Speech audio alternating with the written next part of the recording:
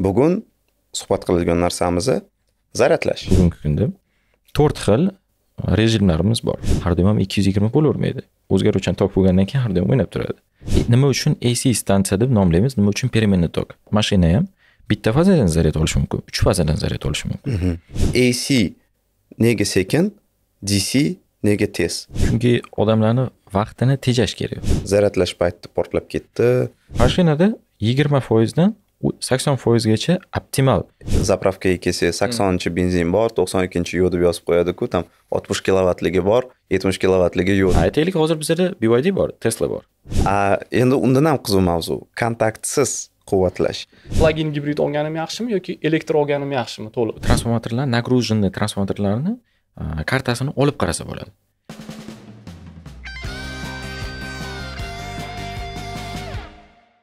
zo'r bo'ldi bu safar yig'ilganimiz ya'ni nafaqat bitta mehmon ikkita mehmon bu safar va e, ikkalanglarni e, bir birini bir biriga qo'shimcha qilib turgani juda yam zo'r bo'ldi. Man o'ylaymanki ba'zi bir paytlarda chetda qolib ketaman bir biringlarga savol berib birdaniga haligi debat bo'lib ketadimi yoki qanaqadir qiziq mani xayolimga kelmaydigan qanaqadir mavzu ochilib ketadimi deb o'ylayman. E, Ilhom aka ion batareyalar bo'yicha mutaxassis elbek aka zaryadlash bo'yicha mutaxassis ebb electric electric electrocars battery charge business. Ana shu shu yerda ishlaysiz o'sha yerda mutaxassis va kelganingiz uchun rahmat vaqt ajratib. Bugun suhbat qiladigan narsamiz zaryadlash ya'ni mavzu zaryadlash. Ilhom aka agarda batareya bo'yicha bu qo'shimchalar bo'lib tursa yordamingizga umid qilaman. Albatta. Odamlarga bitta narsani tushuntirib bersangiz zo'r bo'lardi. Ya'ni bilmaydigan aholini bilmaydigan qismiga zaryadlash o'zi qanaqa ishlaydi? Zaryadlash turlari qanaqalari bor? Batareyalarga qanaqa ta'siri bor u narsalarni va zaryadlash ko'rinishlari ya'ni turlari qanaqa bo'ladi kelajakda o'shanga hozir birinchi bo'lib kirishish sifatida zaryadlash manbalari qanaqa qanaqa zaryadlash manbalari bor shu haqida aytib bersangiz elbek aka hozirgi paytda переменный tok inglizchada alternating current o'zgaruvchan tok stansiyalari bu birinchi manba ikkinchi manba постоянный tok manbalari direct current yoki o'zgarmas tok stansiyalari mavjud. Hozirgi kunda biza bu ikki sistemadan foydalanib turibmiz. Bu degani e, standart zaryadlash protsessimiz standart e, zaryadlash bizani e, terminlarimiz mana shulardan iborat. Ho'p bo'lmasam mm, alternativ currentdan boshlasak. O'zgaruvchan tok stansiyalari o'ziga kirib keluvchi o'zgaruvchan tok ni mashinaga to'g'ri o'tkazib berish. Ya'ni uni mashina bilan gaplashganda mashinani o'zi bilan o'rtada aloqa o'rnatilgandan keyin qanaqa kuchlanishda qanaqa tokda qanaqa quvvatda tok o'tkazib berishni bilib olgandan keyin tok o'tkazib beruvchi stansiyalar hisoblanadi. То есть hozirgi kunda bugungi kunda to'rt xil rejimlarimiz bor. То есть to'rt xil mod deyiladi mod один bu oddiy mana o'zimiz bilgan ikki yuz yigirma volt beraveradigan devordagi devordagi o'zimiz har doim kunlik ishlatadigan rozetkalarimizni elektromobilimizni zaryadkaga qo'yish. O'sha o'tgan safar ilhom akam aytganlaridek elektromobil deb har xil o'sha elektro transportni aytishimiz mumkin u общий понятияsi конкретно elektrokarlarga kelib gapiradigan bo'lsak o'zimiz bilgan mana mashinalarni birinchi rejimdagilari oddiy rozetkaga tiqib zaryadkaga oladigan deydigan bo'lsak xavfsizlik tarafdan va jahon standartlari tarafidan olib aytadigan bo'lsak bu noto'g'ri hmm. ya'ni devordan olib elektromobilni zaryadlash bu noto'g'ri ha chunki o'rtada batareyani o'sha bms sistemasi o'zlarini ichkarida yana batareyani hamma yacheykalarga to'g'ri taqsimlaydigan o'sha chiplarini zaryadni stansiyalar то есть quvvatlantirish stansiyalar stansiyalarida ular nima a, qancha напряжение qancha tok to'g'ri olishini bilib olishi kerak Hmm.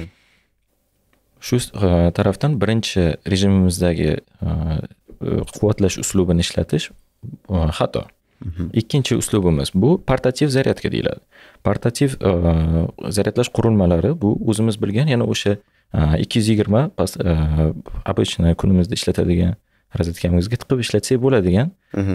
zaryadlash qurilmalari bo'ladi Mhm. bu anavi e, moshina bilan birga berishadida anaqa o'rtasida yana blokka o'xshagan adapter bo'ladi adapteri bo'ladi. Shunaqa. a u birinchi e, turi aytganingizda u qanaqa edi? Prямой shundoq shnurmi? Ha elektromobillarni o'zidan chiqqan shnur yoki bo'lmasam shunchaki o'sha ab- biz biladigan kunlik e, ishlatadigan e, rozetkamizni rozetkaga tiqilgani и vilkani rozetkaga Mhm, tiqilgani. a bu yoqdan elektromobilni o'ziga shundoq shuni prямой tiqilgan u nega mumkin emas deyotganingiz to'g'ri tushungan bo'lsam ikki yuz yigirma volt berilayotgani e, kontrolsiz kirib ketadida elektromobilni ichiga to'g'rimi a elektro- elektromobilni ichidagi batareyalar u ularga qanaqadir e, nima deydi to'g'irlangan voltda energiya yetib borishi kerak aslida. Shunaqa. ya'ni kontrol qilingan to'g'irlangan energiya yetib borishi kerak. ikki yuz yigirma voltdan prямой tiqqanimiz uchun aji buji bo'lib kiradi и zarar ko'radi. Shunaqa. Mashina o'zi nima olish kerakligini har doim aytib turadi o'ziga nima kerakligini har doim belgilab turadi. Bu elektromobil ishlab chiqaruvchilar tomonidan belgilangan software deydigan bo'lsak Hmm. ana o'shani mukammal ishlangan dasturlardan bittasi. Mod ikki ikkinchi rejimimizdagi portativ zaryadlash qurilmalarimiz bo'lsa o'rtasida o'sha aytganingizdek переходникка o'xshagan narsa bo'ladi Mhm. bu narsani ichida chiplari bor. Chip международный стандарт то есть international а, electrotechnical а, commission то есть iec oltmish bir sakkiz yuz ellik birinchi standart bo'yicha kontroller yasalgan kontrollerni o'sha ichida mikrochipi sistemani kontrolini hammasini o'zi bajaradi Hmm. как evm Hmm. ana endi ichkarida yana e, apparati защита bo'lishi kerak himoyalash qurilmalari qanaqa tok o'tayotganini ular mana chip hisoblagan chipga hisoblab berish ichidan? Yo'q elektromobilgacha hali. Ha. elektromobilgacha mana qancha mana напряжениеda tok. Masalan ikki yuz yigirma desak bizada har doim ham ikki yuz yigirma bo'lavermaydi. O'zgaruvchan tok bo'lgandan keyin har doim o'ynab turadi. Amplitudamiz bor boshqa pozitsiyalarimiz bor. Aytaylik bizada o'zbekistonda ko'pincha holat bo'ladi. bir yuz sakson bir yuz to'qsonda ishlab berish kerak. Mashinaga u yetarli bo'lmasligi mumkin. Mana shu hisobdan chip moshina bilan gaplashayotganda mana shuncha sanga hozir напряжение boradi mana shuncha sanga tok boradi. Mhm. shunga tayyor bo'l. Mosh- mashina ham mana shuncha tokni man ola olaman mana shuncha tokni e, ola olmayman. Manga to'g'ri kelmaydi напряженияларga hammasiga e'tibor ber. Ana u hisoblovchi devayslarimizni asosiy vazifasi apparati защиты то есть e, himoya qilish vazifasi berilgan. Tok bilan напряженияni hisoblaganda o'zi ikki xil e, устройство ishlatamiz. Datchik holda bor и undan tashqari e, напряжениеga javob beradigan yana boshqa e, apparat защитamiz bor. Mana bu ikkalasi hisoblab berganda biza e, ikkalasini ishlatgan holda uydagi elektr потребленияmizni hisoblaydigan счетчигimizni o'zi chiqarib qo'ysak bo'ladida shunaqaroq E, undan tashqari предохранитель то есть tez kuyuvchan o'tkazuvchan narsamiz bor. Ana ular hammasi ichkarida то есть o'sha siz aytgan переходник. Adapterimiz emasda o'sha blok ha, deylik ana o'sha ichida bo'ladi hammasi hozirgi kunda ishlab chiqaruvchilar shunchalik rivojlanib ketganki ana o'sha blok upravleniyamiz o'zida tokini kontrol qilib yozib qo'ysak bo'ladi mana masalan olti amper sakkiz o'n o'n uch o'n olti yigirma o'ttiz ikki o'ttiz ikkiga лучше tegmagan ma'qul chunki bizani kulli kunlik ishlatadigan rozetkalarimiz unga javob bera olmaydi ko'tara olmaydi keyingimiz bu уже uchinchi mod. Uchinchi rejimdagi zaryadnaya ustroystvolarimiz bu qanaqa? Uylarga o'rnatilinadigan devorga o'rnatilinadigan yoki pedestalga o'rnatilinadigan zaryadniy stansiyalarimiz bo'ladi. То есть bular уже обычный bizani rozetkalarga tiqilmaydigan ularga отдельно yo счетчикdan yoki transformatordan kabel tortib kelinadigan qurilma qurilmalarimiz ho'p bizada hozir uchinchi rejimda e, ishlatilinadigan e, zaryadlash qurilmalari asosan uylarga o'rnatilinadi Mhm. uyga o'rnatilganda o'sha o'rnatilgan zaryadniy stansiyani yoniga yana boshqa shit terishadi. Endi bundoq aytganda shkafcha ichidagi e, e, himoyalovchi qurilmalari bor. Avtomat e, устройство защиты оборудования yana защита от перенапряжения narsalar qo'yiladi undan tashqari bizani sharoitda odamlar hamma biladi chunki напряжение pastroq shu uchun stabilizator ishlatgan ma'qul ko'rishadi to'g'ri e rejim uchinchi rejimdagi zaryadniy stansiyalarimizni ishlatgan qanchalik to'g'riligini odamlar уже opitni o'tkazib уже eksperimentda ko'rishdi shuning uchun mm, uch- e, то есть AC stansiyalar deganda asosan shu stansiyalarni tasavvur qilishadi. Shu to'rt e, uchtasini uchinchi rejimdagi. Ha uchinchi rejimdagi uchinchi rejimdagi. Ho'p uchta rejimdagi zaryadniy stansiyalarni hozir sanagan bo'lsak uchalasi ham o'sha o'zimiz bilgan o'zgaruvchan tok stansiyalari bilan e, stansiyalari deb ataladi. To'rtinchi rejimdagi zaryadniy stansiyamiz bu постоянный tok stansiyalar. Bu уже ko'chalarga qo'yiladigan magistrallarga qo'yiladigan katta e, zaryadlash qurilmalari Mhm. DC stansiyalar deb nomlab ketamiz. Hech qachon hech kim e, uchinchi rejimdagi to'rtinchi rejimdagi deb nomlamaydi. Ko'chadagi nomlari shunaqa. Xalqimiz tilida tez zaryadlovchi e, stansiyalar deb ataladi. DC DC stansiyalarni yaxshi tarafi bu vaqtimizni tejaydi man to'g'ri tushunyapmanmi AC DCga qaraganda ya'ni mana uyimizda turgan zaryadlash stansiyalari yoki masalan primoy ikki yuz yigirmadan kelayotgan zaryadlash usuli DCga qaraganda nega sekinroq? Chunki e, agar noto'g'ri aytsam to'g'irlab yuborasizlar e, shu переменный tokkni e, to'g'ri usulda yetkazib borish uchun mana shu protsess vaqt oladi. To'g'rimi? Yoki e, peri- e, постоянный kelmagani uchun ya'ni переменный bo'lgani uchun uni to'g'irlash uchun e, vaqt ketadi o'tgan safar ilhom akam aytuvdilar pas- e, hamma biladi batareyalar постоянный tokdan то есть o'zgarmas tokdan zaryad oladi и o'zgarmas tokda ishlashadi Mhm. AC stansiyalar e, moshinaga ulanganda o'zgaruvchan tokni o'zini beraveradi Hmm. moshinani o'zini ichida преобразователь то есть e, transformatsiya qiluvchi o'zgaruvchan tokni o'zgarmas tokka transformatsiya qiluvchi qurilmalarimiz bor konverterlar Mhm. Mhm. mana shu e, konverterlar ishlab chiqaruvchi tomonidan e, aniq e, quvvatga moslab qo'yilgan ko'p hozirgi bizda ko'chada yuradigan BYDlarimiz gag yana boshqa brendlarimizni ichidagi o'sha blok преобразованиялari hammasi yetti kilovatga mo'ljallab qo'yilgan Mhm. ko'pchiligida Mhm. Yetti kilovatligini sababi bular narxni oshirib yubormaydi. Hmm. keyingi sababi batareyani asraydi. AC stansiyalarimiz e, 7 kilovatgacha zaryad bera oladi faqatgina. E, past bir bitta fazalilar. Bu degani e, AC stansiyalarimizga kirib keluvchi kabel bitta faza bo'lishi mumkin uchta faza bo'lishi mumkin и xuddi shunaqa ma- mashina ham bitta fazadan zaryad olishi mumkin uch fazadan zaryad olishi mumkin Mhm. u ishlab chiqaruvchi tomonidan to'g'irlab o'shanaqa chiqarilgan bo'lishi kerak Mhm. yetti kilovat deganda nima bu yetti kilovat bu quvvat quvvat o'zi e, kuchlanish ko'paytirilgan tok Mhm. shu e, ko'paytmani e, agar aniq ochiq oydin gapir aytadigan bo'lsak kuchlanishimiz o'sha o'zgaruvchan tokda hamma biladi. Bir bitta fazada ishlatadigan bo'lsa ikki yuz yigirma. Mhm. ikki yuz yigirma volt e, tok o'ttiz ikki ampergacha bo'lishi mumkin.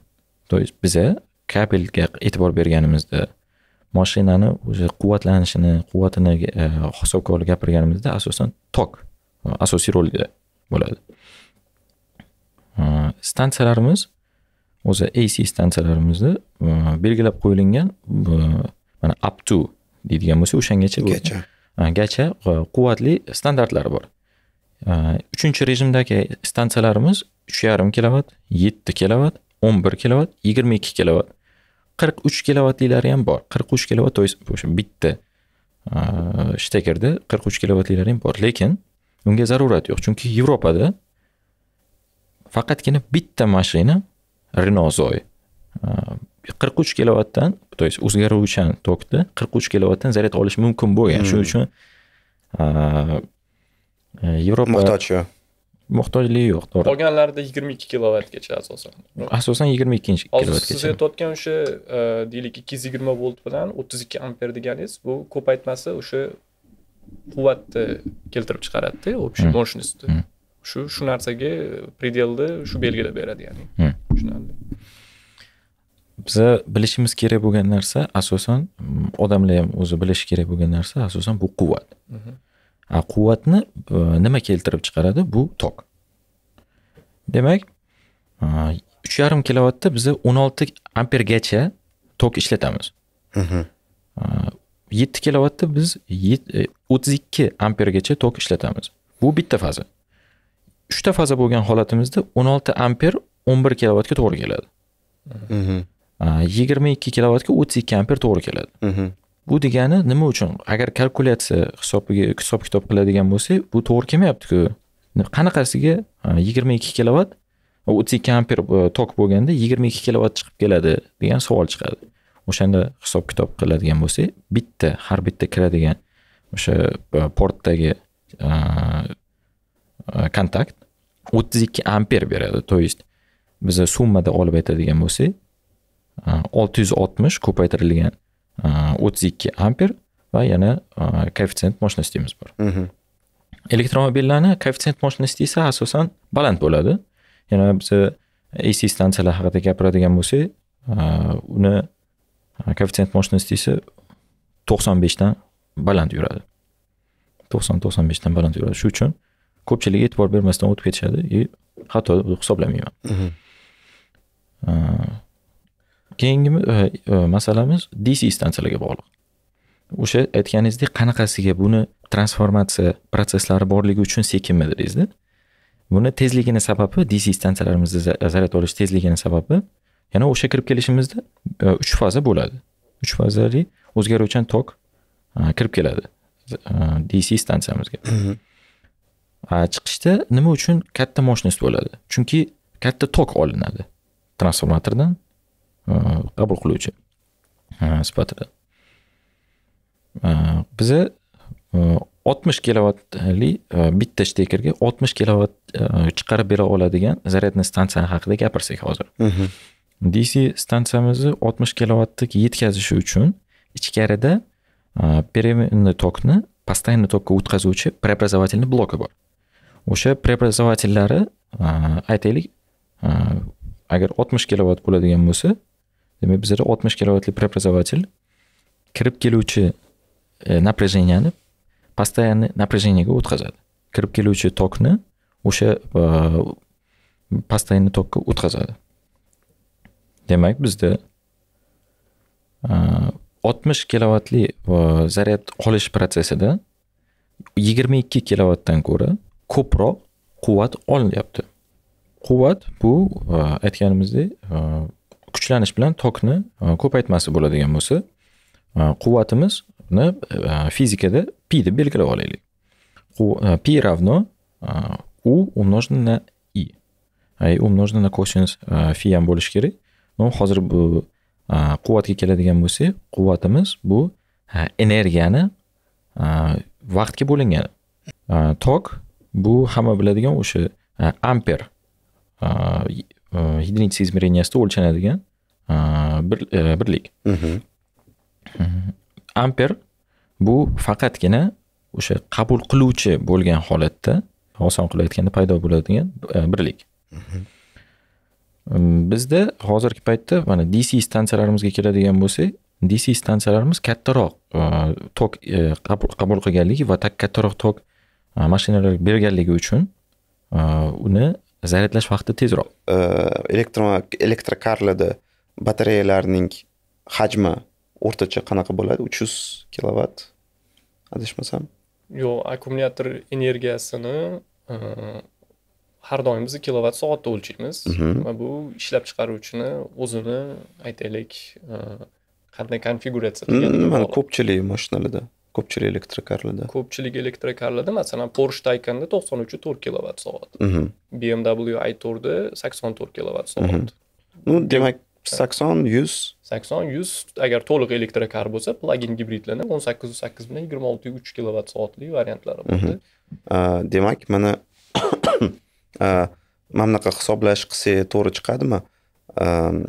Masalan dc stansiya oltmish besh kilovat dedingizmi oltmish besh kilovat beradigan bo'lsa e, elektrokarri batareyasi bilan ana shu e, dc stansiya berayotgan quvvatni qanaqa hisob kitob qilish kerakki mana masalan moshinani olib keldim. Moshinada там sakson kilovatli batareya bor deylik. Va man bilaman mana shu dc stansiya manga oltmish besh kilovat e, quvvat bera oladi. Qanaqa hisob kitob qilishim kerakki darrov tushunib olish uchun. Mana mani moshinam mana shuncha vaqt ichida yuz foizgacha zaryadlanadi Elbek mana shu narsani tushuntirib ketish kerak. Qaysi ma'nodaki? Masalan ko'pchilikda shunaqa tushuncha bor. Agar 60 kilovatt soatli batareyam bo'ladigan bo'lsa akkumulyator energiyam demak bu 60 kilovattlik e, stansiyada zaryadlash stansiyasida man bir soatda uni zaryadlay olaman degan narsa borda. Ya'ni pikovый мощность bilan e, bu narsani sal aniq tushuntirib berib ketsangiz har doim ham bu narsa ya'ni aynan o'sha berilgan mощность bilan zaryadlanish zaryadlanmaslikni 60 kilovatli mm, batareyali 60 kilovat batareyali mashinamiz bilan zaryadniy stansiyani oldiga keldik biza bu zaryadkaga qo'ygan holatimizda 60 kilovatli batareyamiz hozir Mhm. uh, aytaylik uh, nol protsentda zaryad olishni boshladik Hmm. demak 60 kilovat bu yoqda batareyamizni единица измеренияsi kilovat chas Mhm. Bir soat davomida zaryad olsam hozir man batareyamni 100 foiz to'liq zaryad qilib olib bo'lib ketaman deb o'ylashadi Hmm. Bu noto'g'ri. Nima uchun? Chunki bizda kichkina protsentlarda noldan o'ngacha bo'lgan protsentlarda sekin zaryad oladi batareyamiz. Sababi qizib ketmasligimiz kerak. И boshqa o'zini himoyalovchi xususiyatlari bor. Uh, то есть noldan o'ngacha и to'qsondan yuzgacha sekinroq zaryad oladi. Xuddi telefonlarimizdagidek qolgan vaqtda bo'lsa o'n foizdan balandda uh, и to'qson foizgacha o'sha vaqtda biza pikovый мощностьni qaysi holatda ola olamiz qachonki bizani e, temperaturamiz haroratimiz yaxshi optimal bo'lsa batareyani e, temperaturasi. Uni e, batareyani o'zini ichki o'sha qabul qila oladigan то есть bms qabul qila oladigan energiyamiz 60 kilovatdan yoki 60 kilovat pikovый yoki 60 kilovatdan balandroq bo'lsa то есть mashinani o'zini ola olishi mumkin bo'lgan quvvati. Mhm. Undan tashqari yana bir ikkita faktorlar bor bu ximicheskiy связанный tomonlari bilan ularni man o'ylashim bo'yicha gapirish shart emas hozir aytayotgan narsangiz CCCV protokol bo'yicha zaryadlanish aytyapsiz to'g'rimi constant current constant voltage bo'yicha ya'ni birinchi tok o'zgarmasi bo'ladi kuchlanish oshib boradi keyin man o'sha aytayotgan to'qson foizga yetganda zaryadlash tugash paytida demak kuchlanish doimiyga o'tadida tok sekin kamayib borishi kerak ya'ni shu nuqtai nazardan gapiryapmiz shunaqa. Постоянно tok haqida gapirganimizda o'zi unaqa ya'ni qo'shimcha e, effektivность yoki koeffitsient e, мощностьlar va haqida ko- koeffitsiyentlar haqida gapirmaymiz. E, напряжение va tok haqida gapirsak bo'laveradi bemalol. И напряжениemiz va tokimiz qanaqa e, joylashadi? Mana masalan zaryadniy stansiyalarda hozir belgilab qo'yilgan e, значениyalarimiz bor. E, volt. Mashina o'zi to'rt yuz ellik volt постоянный voltda e, yaxshi pikovый zaryadini ola oladi tez zaryad ola oladi. U vaqtda tokimiz mana aytib qo'ygan значениямizda bo'lishi mumkin bo'lmasligi mumkin. ikki yuz amper yoki bo'lmasam ikki yuz ellik amper bo'lmasligi mumkin. Bu, yana o'sha aytganimizdek batareya va mashinani o'zida joylashtirilgan sistemalarni devayslarni o'zini qabul qilish xususiyati o'sha производитель tomonidan belgilab qo'yilgan значениyalarga bog'liq biza boyagi temaga qaytadigan bo'lsak o'n foizdan to'qson foizgacha pikovый мощность olishimiz mumkin deganimiz batareya yaxshi haroratda batareya o'zini holatini yaxshiligini kompyuterlarga informatsiya berib turibdi ana o'sha vaqtda yigirma foizdan oshganimizdan keyin sakson foizgacha biz pikovый мощность ola olishimiz mumkin yana o'sha aytganimizdek past quvvat past yomkisdan tez baland yomkostga chiqqanimizdan keyin bizni zaryadlash vaqtimiz yoki zaryadlashni o'zini tezligimiz tushadi batareyani o'zini o'zi himoya qilish sabablariga ko'ra ho'p optimal temperaturaga keladigan bo'lsak optimal temperaturamiz yigirmadan o'ttiz gradus selsigacha Mhm. mana shu temperatura oralig'ida bo'lgan payti batareyamiz tez o'ziga e, kerakli значениyalarni ola oladi. Mhmm. Agar haligi e, o'ndan to'qsongacha qaytadigan bo'lsak tushungan bo'lsam bu e, xuddi mana odam yugurib ketyapti. Boshida sal sekinroq qimirlashni boshlaydi siljishni boshlaydi keyin pikovый мощностьga chiqadi maksimal tezlikgacha yetadi lekin keyin to'xtash uchun bittada to'xtab qolmaydi sekin to'xtashi kerak. Shunga o'xshagan narsa. Agarda bittada to'xtasa yiqilib ham tushishi mumkin. Shunga batareyada ham xuddi shunaqa mantiq bo'lsa kerak e, zaryadlashishida sodda qilib tushuntirsa ha Mhm. A, demak e, hozir ham bitta xulosa qilib olsak mana ac nega sekin dc nega tez? Quvvat. Ya'ni ac quvvatini nima deydi? Konvertatsiya da o'zga aylantirish o'zgartirish o'zgartirishiga o'zgartirishiga vaqt ketadi dcda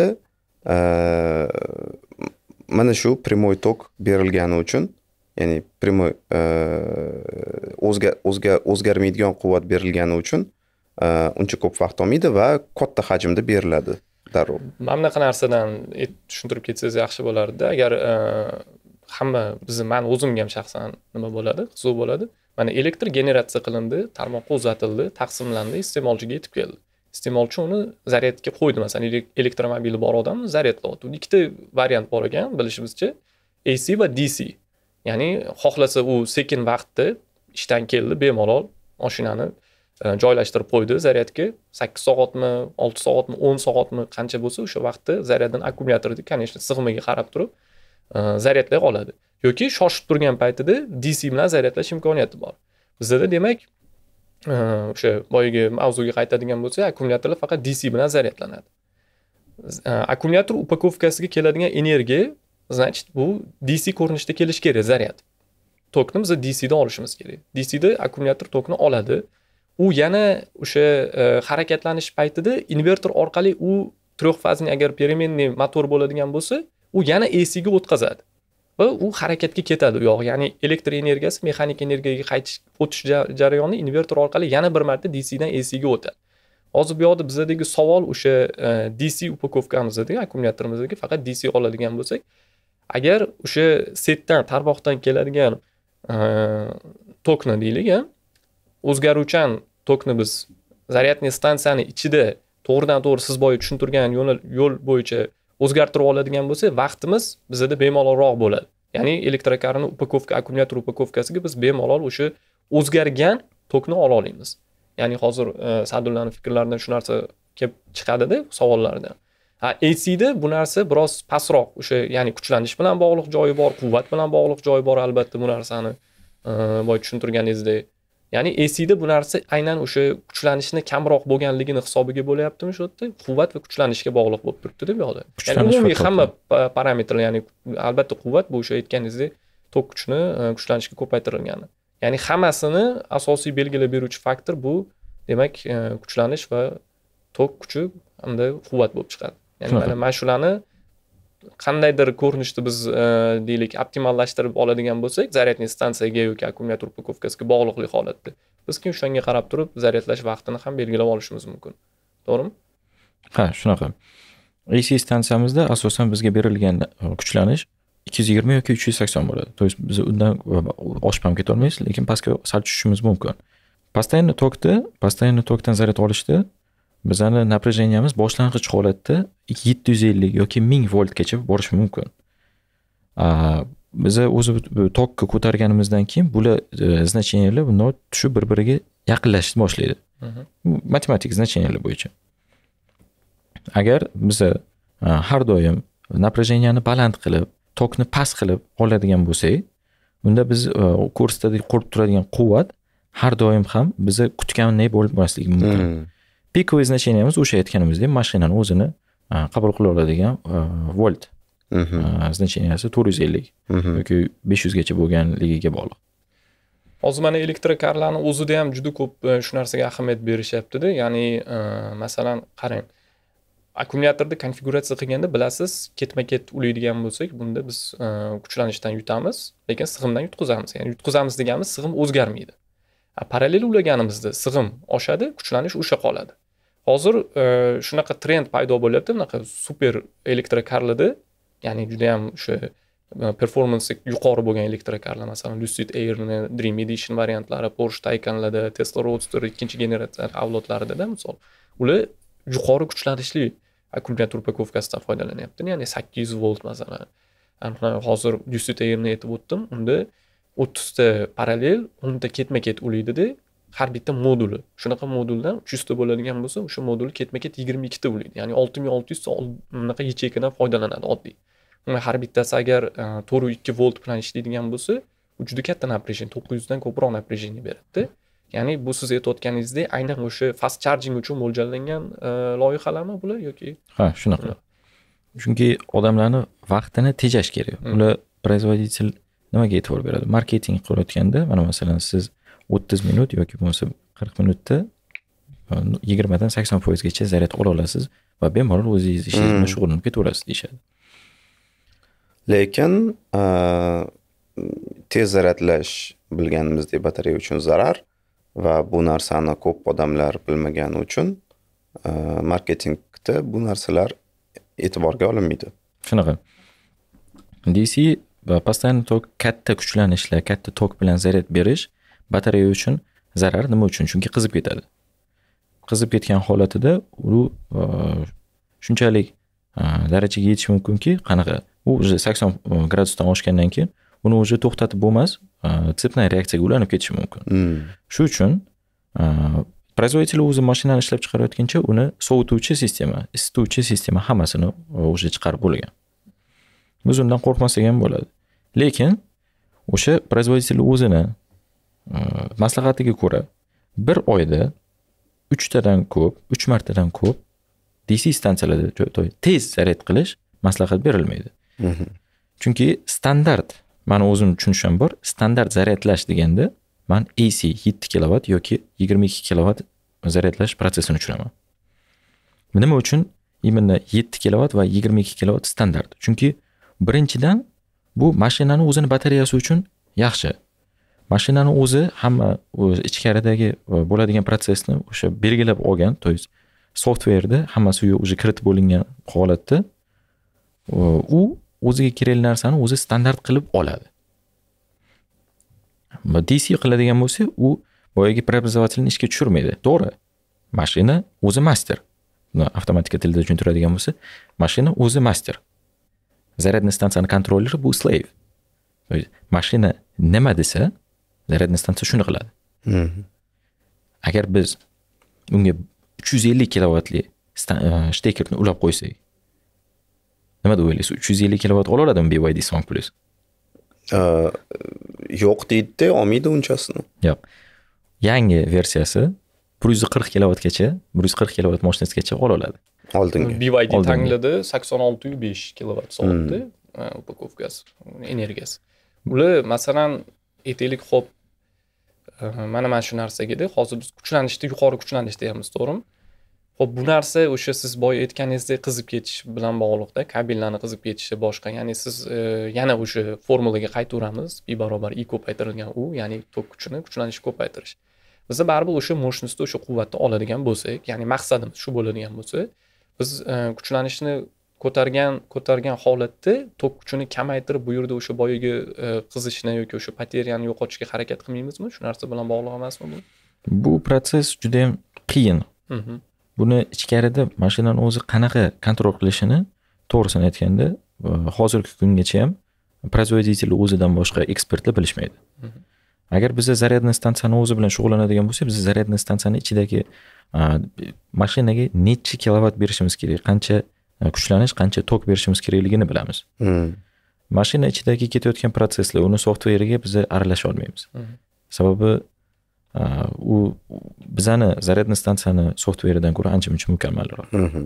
A, mana od- oddiy savol hammani boshiga kelib qolishi mumkin katta zaryadlash quvvatlarini eshitgandan keyin haligi hikoyalar esga keladida zaryadlash payti portlab ketdi juda yam katta masalan hattoki telefonni zaryadlashayotganda ham ana zaryadkasi bilan quvvatlagich bilan telefonni quvvatlamagin deyishadida portlab ketishi mumkin deyishadi mana shunaqa holat oldin bo'lganmi va bo'lgan bo'lsa hozir ham bormi yoshligimda bir o'zimni eksperimentim bor edi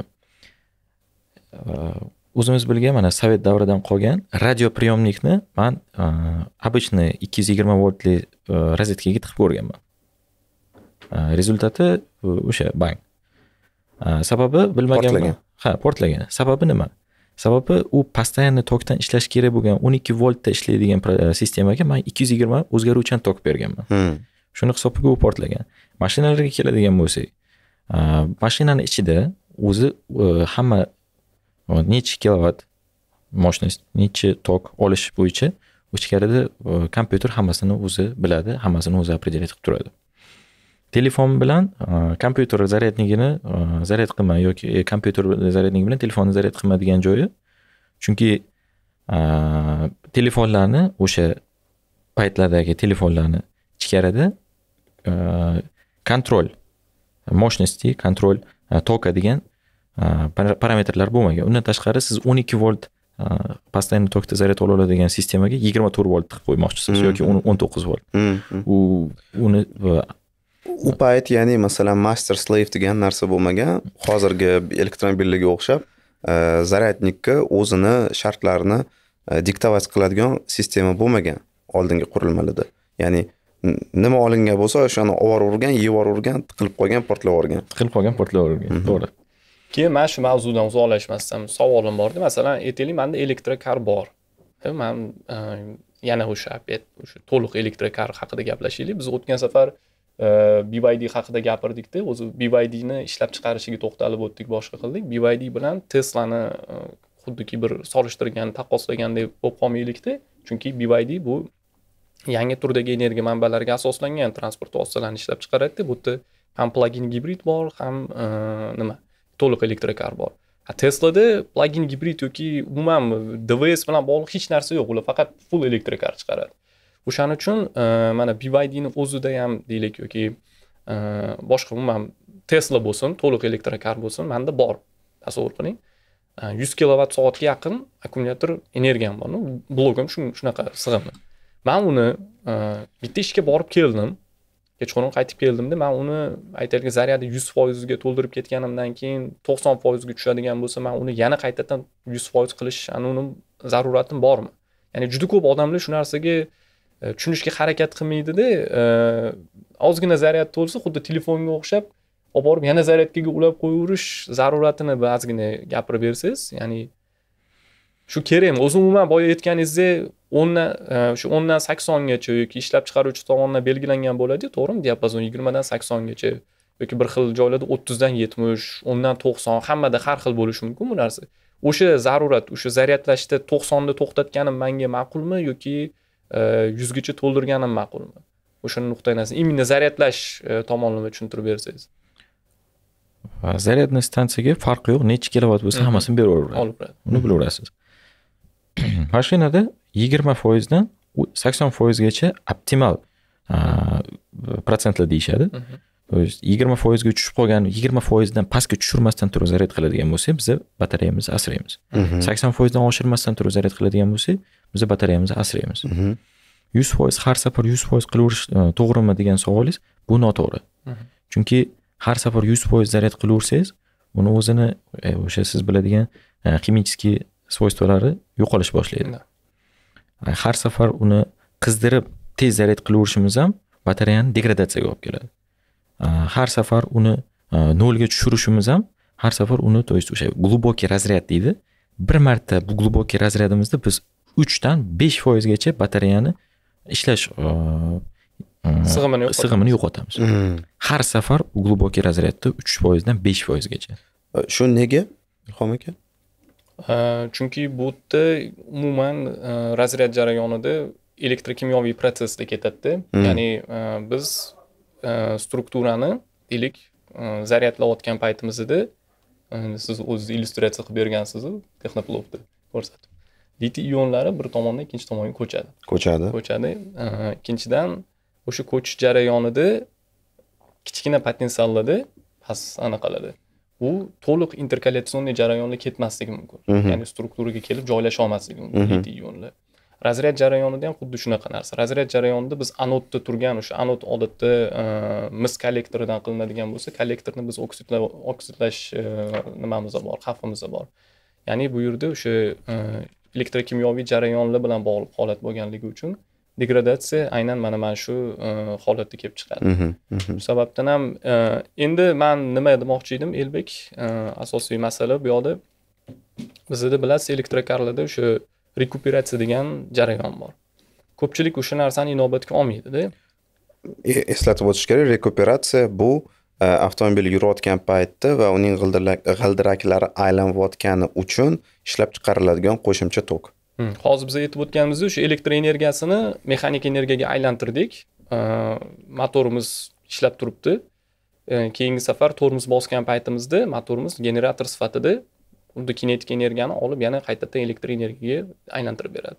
O'shaning uchun ham э, ba'zi holatlarda ko'pchilik inobatga olish kerak shu narsani. Masalan zaryad qildik. To'qson foizgacha zaryad qiladigan bo'lsak o'sha a nuqtadan b nuqtaga borguncha u yigirma marta svetoforda to'xtashi mumkinda juda ko'p marta tormoz bosadi. Har tormoz bosganda bu o'zi shundoq ham e, effektivniy ishlatishi mumkin bo'lgan energiya hosil bo'ladi. Biz uni upakovkani to'liq yuz foiz zaryadlab oladigan bo'lsak rekuperativniy торможениеda ya'ni o'sha boyagi rekuperatsiya jarayonida hosil bo'ladigan elektr energiyasidan Ortiqcha. shunchaki ortiqcha foydalana olmaymizda undan bu yo'q bo'lib ketib qoladi. Shu sababdan ham e, manimcha bu yerda o'sha e, shu narsalarga ham e'tibor berish kerak ozgina bo'lsa ham ya'ni energiya effektivностьdan maksimal darajada foydalanishimiz kerakda u shunchaki poterya bo'lib yo'q bo'lib ketib qolishi kerak emas harakat jarayonida. Ho'p e, U- uni oldin nimani gaplashayotgandik. Undan oldin mana shu to'qson foizgacha zaryad Ha, ha, ha, ha, ha. bilan E, demak e,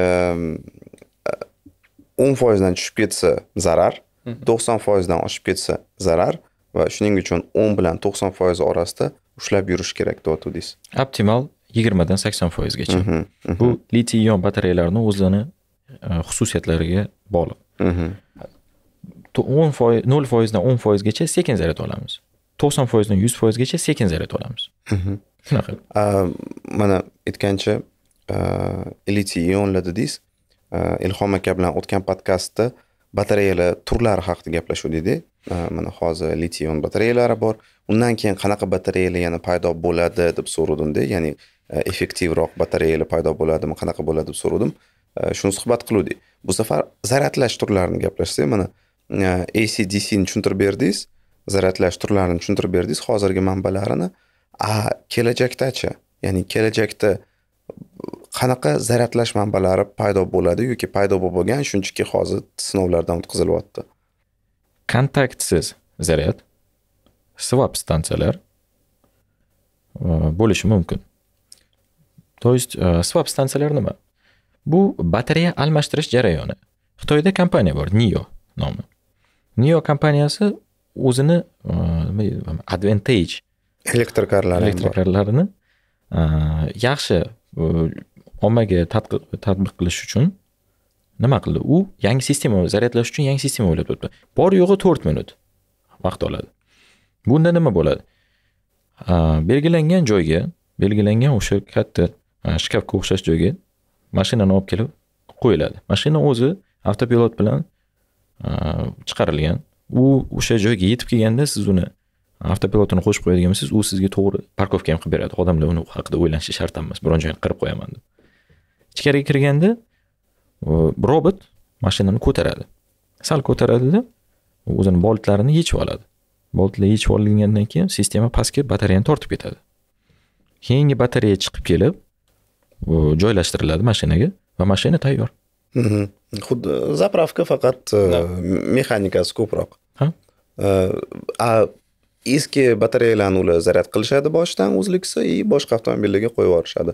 A bu uchun e, Э, ilhom aka mana bu uchun batareyalar hajmi ko'rinishi har xil bo'ladiku. Э, elektro elektrokarlarda ya'ni masalan neo avtomobillarini faqat aniq bir modellari uchun alohida qanaqadir shunaqa stansiyalar bo'ladimi? Yoki e, stansiyani ichida nima deydi? E, qaysi elektrokar kelganiga qarab o'shanga qarab kerakli batareyani o'tkazisharmikan? Buni o'zi odatda agar bitta model bo'yicha bo'ladigan bo'lsa demak blokdan almashtirib ketish mumkin. Agar akkumulyatorni unifikatsiya qilish imkoniyati bo'ladigan bo'lsa kelajakda bu yaxshi ideyada masalan e, hozir eng katta muammoyimiz hozir aytib o'tganingizdek zapravka bilan yoki zaryadlash vaqti bilan bog'liq narsa. Man a nuqtadan b nuqtaga bormoqchi bo'lsam aytaylik toshkentdan xorazmga bormoqchi bo'lsam o'rtada man bitta to'liq zaryad qilishim kerak agar manda ayt- 100 kilovat soatlik batareyam bo'lganda ham bu degani man kamida mana elbek tushuntirganlaridek bir soat vaqt ketadi. Man shunaqa mo'ljallashim kerakki a nuqtadan b nuqtaga chiqqanimda o'rtada ham tamaddi qilib shu vaqtda man zaryadlab olishim kerak.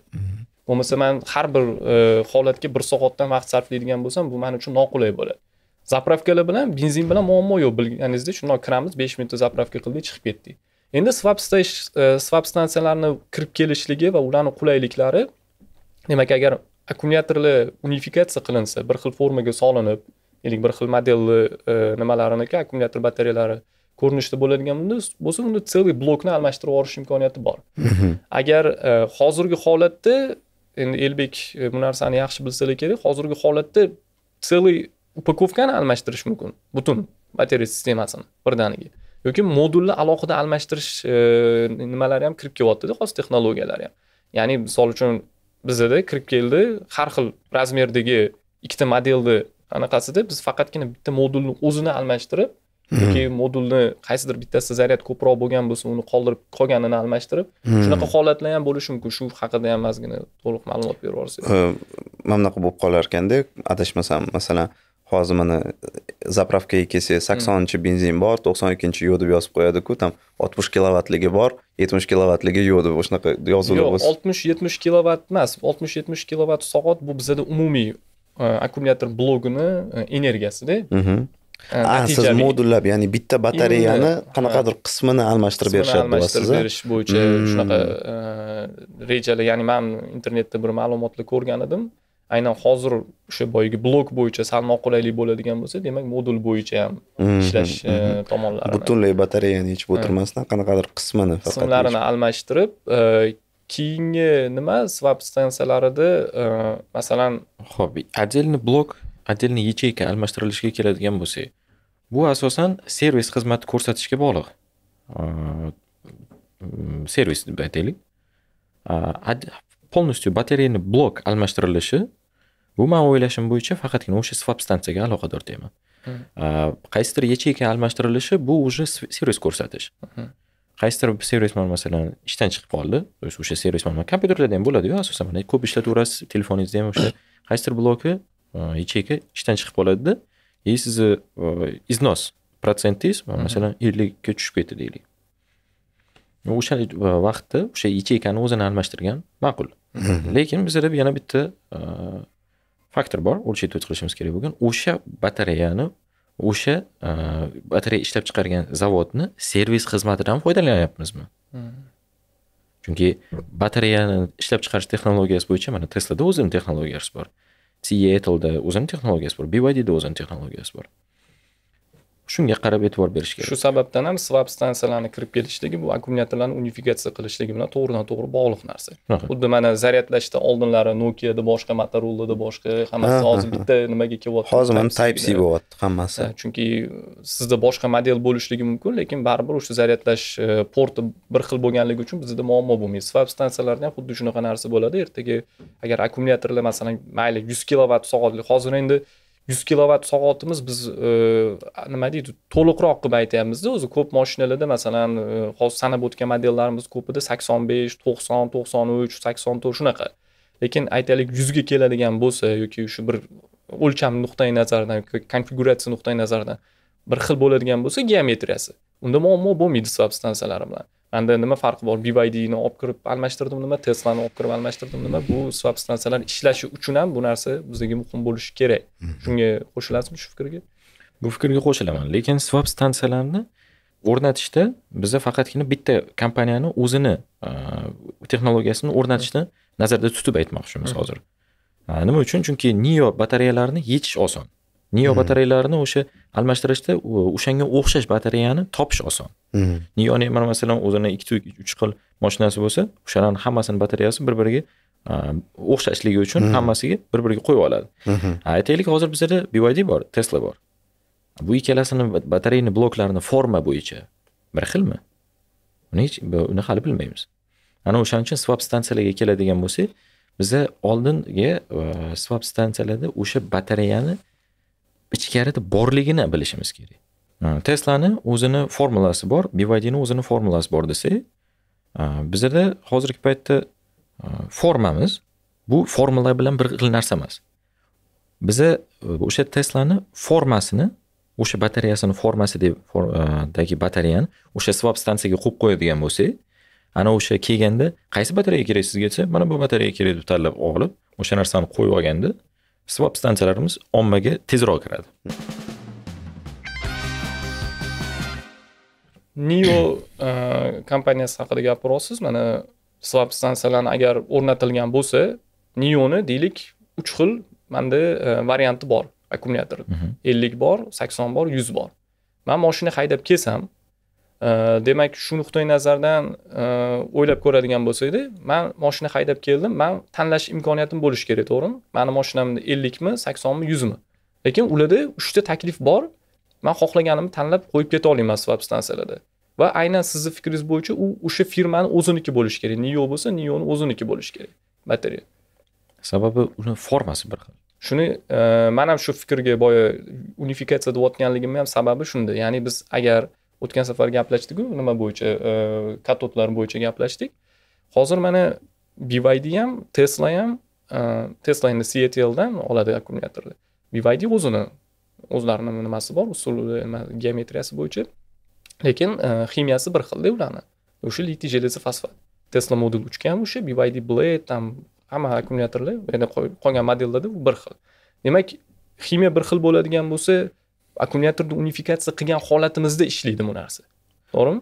Ya'ni bu kompaniya bilan bu kompaniyani geometriyasi bir xil bo'lsa formasi siz aytayotgandek demak biz bemalol bu swap stansiyalarni e, ommaga chiqishligini e, tarafdori bo'la olamiz. Ha man o'ylashim bo'yicha e, agar qaysidir kompaniya shu narsani boshlab bersa masalan nio boshlab beryapti odamlarda muhtoj paydo bo'lsa odamlarga masalan swap stansiyalarni ishlatish qulayroqku elektr stansiyalarni ishlatgandan ko'ra. Э, sekin sekin odamlar aynan swap stansiya orqali э, batareyasini almashtirish mumkin bo'lgan elektromobillarni tanlashni boshlashadi. Chunki qulayligi bor. Э, boshqa ishlab chiqaruvchilar mana shu narsani ko'rgandan keyin ya'ni odamlar aynan swap stansiyalarga to'g'ri keladigan elektromobillarni tanlayotganini ko'rgandan keyin o'zlikisi ham sekin sekin o'zini batareyalarini formalarini mana shu swap stansiyalardagi batareyalarga to'g'irlashni boshlaydi va shu deb sekin sekin unifikatsiya boshlanib ketadi. Shunaqa. Endi yana bitta narsa bor masalan e, juda muhim joyi borda buni. Mana man elektrokarimda yangi akkumulyator bo'ladigan bo'lsa u tushunarli man uni asrayman hali ishlamagan ekspluatatsiya qilishda ham ehtiyot bo'libman boshqa qilaman. Lekin swap stansiyada besh yil ishlagan akkumulyator turishi mumkinda forma jihatdan bir xil. Bir xil kilovat bir xil shaklga ega. Man yangi akkumulyatorni olib borib swap stansiyaga tashlasam u manga besh yillikni qo'yib beradigan bo'lsa bu nuqtai bu tomoni qanaqa bo'ladi misol uchun? Shu jihatdan nima deb fikr bildirishingiz mumkin? Siz borib yana batareyangizni qaytarib olishingiz mumkin o'sha ishlab chiqaruvchidan bor. Ho'p demak man e, o'sha besh yil ishlagan akkumulyatorni qo'ydim. A, lekin zapaskaga o'xshab. Ha lekin u u yerda turgan e, zaryadность anaqa ya'ni bu faqatgina man bilan ishlamaydi u yerda klientlar ko'p ya'ni mani yangi akkumulyatorım boshqa odamga ketib qoladigan bo'lsa u holatda nima bo'ladi? Man besh yillik akkumulyatorni qanaqa qilib e, almashtiraman? Ya'ni shu tomonlarini kutib turasizda boshqanikini olib olish xuddi uchun shunaqa o'zi sizda o'zimnikini qidirib yuraman bitta shaharda. Maniki degan понятиyani esdan chiqarasiz да man man o'ylayman bu uchun e, batareyalarni ham turi o'zgarishi kerakdir mana bu besh yillikka bir yillikka qarab yurmasligimiz uchun. Yo'q buni akkumulyatorni e, turi deganda endi baribir yil nuqtai nazaridan u ishlagandan keyin u degradatsiyaga uchrab boraveradida shu aytmoqchiman degradatsiyaga qanaqadir ko'proq turib bera oladigan batareya turi akkumulyator turi paydo bo'lishi kerakmi Mm, yo'q man o'ylashim bo'yicha akkumulyator turi qanaqadir batareya degradatsiyaga turib bera olishi yoki boshqa faktorlarni учитывать qilish emas man o'ylashim bo'yicha bitta производитель mashina ishlab chiqaruvchi bitta производитель bitta mashina e, liniyasi uchun mana shu narsani hozir to'liq yo'lga qo'yish kerak hammaga ommaga bera olishi kerak. Zaryadniy stansiyani o'sha qo'yuvchi operatorlar ham ana o'sha liniyalarga отдельно o'sha e, swap stansiyalarni boshlanishiga kiritib borishi kerak. Demak biza faqatgina bitta lineyka bilan ishlashni boshladik. Qolgan lineykalar nima bo'ladi deganda qolgan lineykalar ham ana o'sha swap stansiyaga уже производствосini moslab kelishi kerak. Chunki bu a, swap stansiyalar deganimizda yana o'sha siz aytgandek man besh yillik o'zi ba- batareykani qo'yishni xohlamayman dedingiz-ku. Ana o'sha a, muammolar bo'lmasligi uchun siz bitta lineykadan boshlab keyin sekin asta yechim topib ketaverishingiz kerak. Hmm. Mhm. ну swap stansiya tushunarli. Endi undan ham qiziq mavzu. Kontaktsiz quvvatlash. Hali balkonda turganimizda aytib beruvdimku xiaomi konsept chiqaruvdi. Xonada mana mana bu ya korobkaga o'xshagan qutiga o'xshagan qanaqadir apparat turibdi kodni unda va xonani ichida mana shu korobka bilan birgalikda xonani ichida xiaomi telefonni iste'molchi ko'tarib yuribdi foydalanuvchi ko'tarib yuribdi u hech qanaqa simsiz hech qayoqqa tekkizmasdan telefonni telefonni zaryad olyapti ya'ni havo orqali kontaktsiz hozirgi mana telefonlarimizda kontaktsiz mavjud bo'lgan texnologiya qanaqa platforma turadi uni ustiga telefonni qo'yasiz u zaryad olishni boshlaydi. Mashina ishlashini tushuntirib bersangizda keyin mana shu konsept qanaqa qilib ishlashi mumkinligini tushuntirib bersangiz havo orqali qanaqa qilib zaryad olish mumkinligini tushuntirib bersangiz. Havo orqali zaryad olish uchun o'sha datchiklari o'sha xonadaligini bilib turish kerak. То есть o'sha mana o'n santimetrdan yigirma besh santimetrgacha hozir e, datchiklar shunaqa moslab qo'yilgan e, mana shu elektromobillar uchun. Telefoningiz uchun konkretно aytadigan bo'lsak bitta xonada yurib mana bitta xonada yurganingizda ham o'sha xonani razmeri kritichniy holat chiqib ketmasligingiz kerak. O'sha o'zi belgilab qo'yilgan mana masalan xonada yuribman dedingiz e, aytaylik bir metr bo'lar. Aytaylik Mhm. bir yarim metr bo'lar. Ana o'shancha davrda mana o'shancha vaqtda datchiklar telefondagi datchik и zaryadnikdagi datchik bir birini определять qilib turadi. Mhm. то есть bu shu yoqda yu- yuribdi. Bluetoothga o'xshagan narsa. Ha shunaqa. Shu yoqda yuribdi deydi datchik bilib turadida yu ana o'sha elektromagnit induksiyasi shu qonuni bo'yicha bir birini zaryadlab beradi kontaktsiz zaryadlashda mana o'sha xiaomini konseptida bizani zaryadniy stansiyamizni o'zidagi katushka paneldagi katushka переменный e, tok keladi. Переменный tok u yoqda elektromagnit induksiyasi qonuniyati bo'yicha a, magnitniy polya создавать qiladi. Magnitniy polya boyagi telefondagi katushka bilan то есть magnitniy polyani o'zini kuchi bor o'zini значениялari bor ana o'sha значениялari bo'yicha u nimadan зависит qiladi u зависит qiladigan joyi переменный tokni amplitudasi колебания amplitudasidan зависит qiladi telefondagi panel telefondagi katushka o'sha magnitniy polyani qabul qilib o'shani o'zini ichida переменный tok создавать qiladi o'sha переменный ток то есть бесконтактный передача энергии mana shunaqa bo'ladi bu telefonni o'zidagi mana telefonni ichida pastidagi paneli переменный tok oldiyu keyin o'shani konverterga transformatsiya qiladigan qurilmaga berish kerak ga DC bilan keyin batareyani zaryad qilib olib keyin ishlataveraveradi Hmm. elektromobilda ham xuddi shunaqa elektromobillarda yaqinda o'qigan edim o'n santimetrdan yigirma besh santimetrgacha datchiklari ishlab turar ekan то есть o'sha o'n yigirma besh santimetrdan oshib ketadigan bo'lsa bo'ldi уже mashina yo'q deydi. Lekin hozirgi kundagi bizani mashinalarimiz klirensini hisobga olib aytadigan bo'lsak a, gap bo'lishi mumkin emas. Yigirma besh santimetr даже o'sha a, traklarimizga ham to'g'ri keladi. Endi a, aytaylik bizani beskontaktni zaryad qilishimiz nima uchun kerak va qanaqa holatlarda ishlatilishi mumkin? Kerakli joyi odamlarni vaqtini tejash и ularni ortiqcha ovora qilmaslik. Mana masalan siz kabelni olib mashinaga tiqish e, esingizdan chiqib qolishi mumkinda Mhm. mana shoshib turibsiz? Kirib ketishingiz kerak ishga yoki bo'lmasa to'yxonaga yoki biron joyga shu kafe restoranlarga siz o'sha kabelni tiqish esingizdan chiqib qolib mashinangiz zaryadi yo'q. Yurganingizda keyin qarasangiz yigirma foizdan sekin e, pastroq yuribsiz и tezligingiz ham tushishni boshlaydi. Mhm. bu odam uchun лишний faktor swap e, Beskontakt. zaryadkaga qo'yadigan bo'lsak o'sha a, spetsialniy joyida moshina keldi turdi ustida. Siz keldingiz xohlasangiz o'sha narsani oldindan bron qilib qo'ysangiz bo'ladi.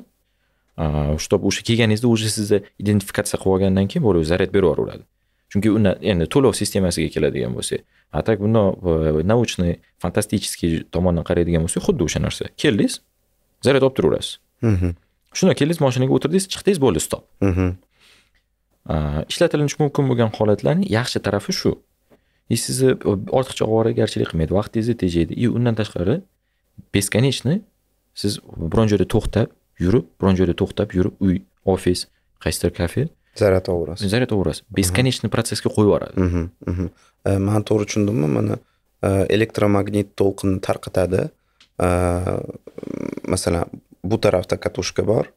Panelda zaryad beradigan uskunada elektromag- elektromagnit to'lqinni tarqatadi e, va qabul qiluvchi masalan telefon yoki elektromobilda o'zida joylashgan katushka ana shu elektromagnit to'lqinni qabul qilgandan keyin e, energiya ishlab chiqarishni boshlaydi.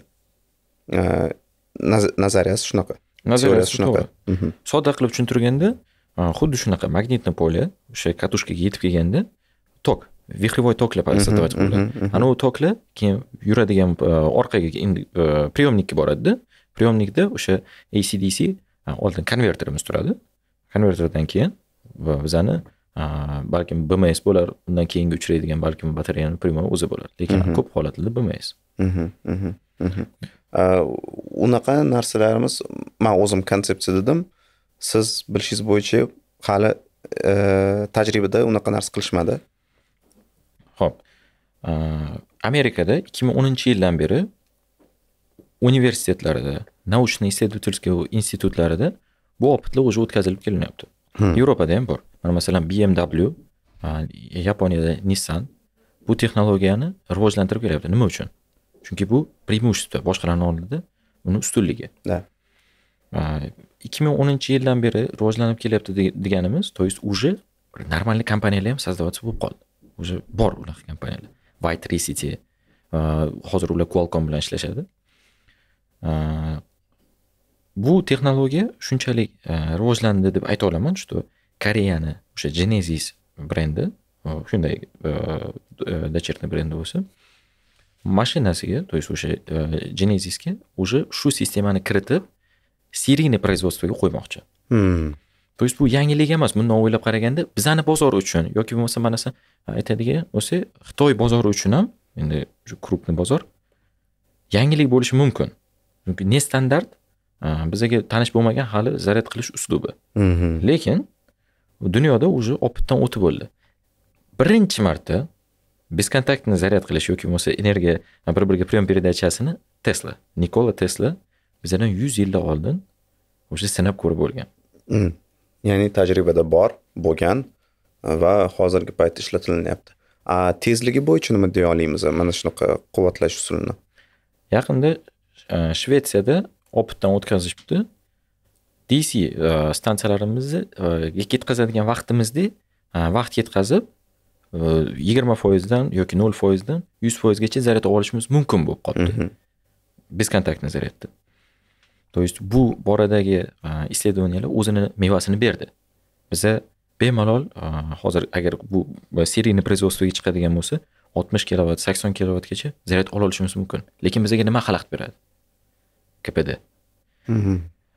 koeffitsient полезного действия. Effektivnosti pastligi uchun, то есть mana masalan siz o'sha beskontaktni energiya berishda bir-biriga a, effektivностini biz past. Buni qanaqa qilib aniqlaymiz? Chunki a, bu yoqdan ketgan, zaryadniy stansiyadan ketgan energiya bilan telefoningiz olgan energiyasiga buni e'tibor beradigan bo'lsangiz, ikkalasi ikki xil значение. Mhm. KPD 80% ga teng. Hmm. Eng zo'r holatda 80% ga teng. Mhm. Mhm. White City uni 99% ga chiqardik deb aytishgan. Mhm. Lekin ular laboratorniy условияdan hali chetga chiqishmadi. Faqatgina Koreya, koreyskiy ученыйlar bu narsani ommaga qo'ya olamiz. серийный производство bera olamiz deb turishibdi kpdmiz лучший holatda sakson foizini hamma davlatlar исследовательский sentrlari e, elektromobil bo'yicha yoki bo'lmasa telefonlarni o'sha zaryad qilish e, masalasi bo'yicha o'zlarini standartlariga kiritmoqchi bo'lib sinab ko'rishgan. Ana o'shanda sakson foiz maksimum holat chiqqanligi uchun beskontaktniy прием передача energiyada. Bu sistema energiyani juda ko'p isrof qilib yuboradi deyishgan. Mhm. mana masalan aytaylik hozir yetti kilovat yetti kilovat bizani hozir tilimizda judayam e, oddiy narsaga e, o'xshab eshitiladida judayam e, oddiydek tuyuladi. Lekin yetti kilovat agar e, odam o'sha narsani o'zida sinab ko'radigan bo'lsa bunaqa bo'lmasin judayam ko'p. Bu odamni sog'lig'i uchun judayam qattiq zarar bera oladigan e, значение beskontaktniy zaryadda bo'lsa oltmish kilovat deylik oltmish kilovatda bir biriga berguncha sakson foiz effektivность bilan beradigan bo'lsa qanchasi hozir shunday effektivniy bo'lib chiqadi Hmm. qirq sakkiz kilovatni moshinangiz olishi mumkin oltmish kilovat orada o'n ikki kilovat poterya то есть bu energiya effektivность masalasidan davlatlar o'zini belgilab qo'ygan standartlar tarafidan noto'g'ri narsa Hmm. bekorga ishlatilib isrof bo'lib ketadi demak katta miqdordagi energiya. Va demak agarda mana shu texnologiyani oxirigacha rivojlantirishsa ya'ni e, потеря energiyani minimallashtirishsa e, hozir xayol surishni boshladim. Nafaqat elektromobilni telefonli ko'chada agarda umuman mana shu kabel o'tkazish provodka masalasi yo'q bo'lib ketsada tasavvur qilinglar. E, ko'chada masalan katta shu generator qo'yib qo'yib beskontaktni beskontaktniy mana ko'chada masalan svetofor qo'yish kerakda bu joyga. U nega darrov qo'yishmaydi nega muammo? Chunki provodka o'tkazish kerak qazish kerak balobatlar qilish kerak. Balki kelajakda umid qilaman shunaqa texnologiya paydo bo'ladi. Atrofda mana shunday generator tursa kerakli joyga masalan bemalol svetoforni shunda o'tkazib ketish mumkin bo'ladi. Ha. Umid qilamizki haqiqatdan kelajakda texnologiyalarimiz rivojlanaverib shu darajaga boramiz. Chunki kabel masalasida boshqa davlatlarga e'tibor beradigan bo'lsak ham judayam ko'p judayam uzoq расстоянияларga kabellar tortilganini ko'ramiz. Hmm, hmm, hmm. ну endi silovoy liniyalar to'g'ri qoladi baribir ham. Ha bu yoqda o'zimizda mana masalan hozir e, telefonimizni zaryad qilishda yoki bo'lmasam elektromobilimizni zaryad qilish svetofor aytganingizdek agar uni ishlatish kerak bo'ladigan bo'lsa juda yam zo'r bo'lardi. Beskontaktniy energiyada. Ну uni yana e, nedostatklari bor. Baribir hamma ya- yaxshi narsani ham bir yomon tarafi bo'ladi. Shuning uchun ularni hammasini sekin asta protsessda odamlarga berib borish kerak. Mana sigma podkast odamlarga e, informatsiya bermoqchi bo'lsa hozir mana e, birinchi ilhom akam chiqdilar batareyalar haqida informatsiya berdilar. E, keyin man zaryadlash e, masalasida odamlarga informatsiya berayotgan bo'lsak e, xuddi shunaqa ziyo tarqatishda davom etishimiz kerak. Ilhom aka savollaringiz? Xo'p, savolim bor mani endi bizni oldingi ko'rsatuvda oldingi sonimizda ham gaplashdik o'sha ko'p narsani gaplashdik-da akkumulyatorlarni evolyutsiyasini gaplashdik parij shartnomasi kirib ketdi u yog'iga keyin yana nima там elektromotorlar umuman вообще elektromobil akkumulyatorlarni to'liq целый o'sha industrializatsiyasi haqida gaplashib bo'ldikda. Endi yana bitta judayam muhim narsa borda bu yerda. Mana ko'pchilik zaryadlashni akkumulyatorni bir tomonlama deb tushunadida ya'ni unidirectional bitta tomonlama tarmoqdan kelayotgan zaryadni e, aytaylik elektromobil bo'lsa elektromobil oladi. Lekin xuddi shu narsani teskari tomon ya'ni двунаправленный ikki tomonlama ham qilish imkoniyati bor. E, bu imkoniyatni e, aytaylik bizga именно masalan man elektromobilim bo'ladigan bo'lsa hozir mana shu joyda bitta muhim jihatiga to'xtalib o'tib ketaylikda mana ko'pchilik plagin gibrid bilan gibridni plagin gibrid bilan to'liq elektrokarni o'rtasidagi e, farqni tushunishga harakat qiladi. Qaysi tomonlama qaysi biri yaxshi. Odamlarda haligacha dilemma bor. Pulim bo'lsa plagin gibrid olganim yaxshimi yoki elektr olganim yaxshimi to'liq? Nimaga? Chunki ertaga qishda masalan e, elektr energiyasi bilan muammo bo'ladigan bo'lsa man e, ichki yonuv dvigatelida harakatlanaverman agar benzin bilan muammo bo'ladigan bo'lsa nimada harakatlanaman akkumulyatordan foydalanaman? Endi gibridlarni ham o'sha ketma ket gibrid bor parallel gibrid bor parallel ketma ket gibridlar bor har xil turlari bor. Lekin shu tomonlama odamlarda shunaqa tushuncha bor. Ya'ni agar elektr energiyasini yo'qolib qolishligi ma'lum bir paytda o'sha qishda нагрузка bo'ladi zaryadlash bilan muammo bo'ladi manda elektr energiya yo'q. Elektr energiya yo'qolib qolgan paytda man o'sha ikki tomonlama zaryadlash e, nimasidan ya'ni e, imkoniyatidan foydalanishimni qanaqa baholaysiz masalan? Manda hozir xuddi mana power bank bor manda e, portativ qurilmam zaryadladim. Qanaqadir manba bor. Yonimda rozetkaga qo'ydim zaryadladim keyin ma'lum bir paytda energiya kerak bo'ldi o'shandan foydalandim. Xuddi shunaqa e, perspektivadan ya'ni shu nima istiqbolli deb ko'rasizmi bu narsani? Smart grid sistema demoqchisiz. Umuman olganda ha tarmoq o'zi smart grid bu umumiyroq tushunchada bu yerda butunlay ya'ni hamma narsa o'rtasidagi bog'liqlik. Biz именно mana bu e, hozir mavzuyimiz zaryadlash bilan elektromobil bo'lganligi uchun ko'proq tarmoqlarni qolgan narsalarni gapirmasdan balki shu tomonlama e, tushuncha berib ketsangiz yaxshi bo'lardiki именно ya'ni odamlar qo'rqmasa bo'ladimi? Zaryadlashda именно mana shu elektrokarni energiyasini agar man full elektrikar oladigan bo'lsam man ertaga svet bo'lmagan paytda elektr energiyasi yo'q bo'lgan paytda man undan qanaqa foydalanaman? Ya'ni o'sha двунаправленный ikki tomonlama zaryadlash imkoniyatidan ozgina nima qilib ketsangiz. Zaryad oldik deylik. Mani hozir elektromobilim bor man zaryad oldim. Yuz foiz zaryad qilib oldim uyga keldim. Uyimda svet yo'q nima qilaman?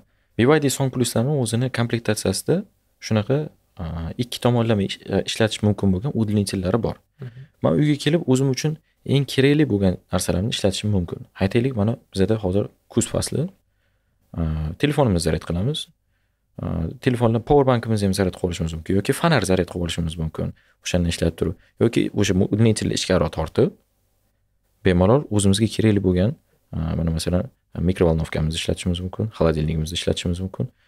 Bu endi kabelni o'zini o'tkazuvchanligi xususiyatiga ham e'tibor berish kerak. Agar kabel juda yam ingichka bo'ladigan bo'lsa juda ko'p narsani qo'shib yubormaslik kerak.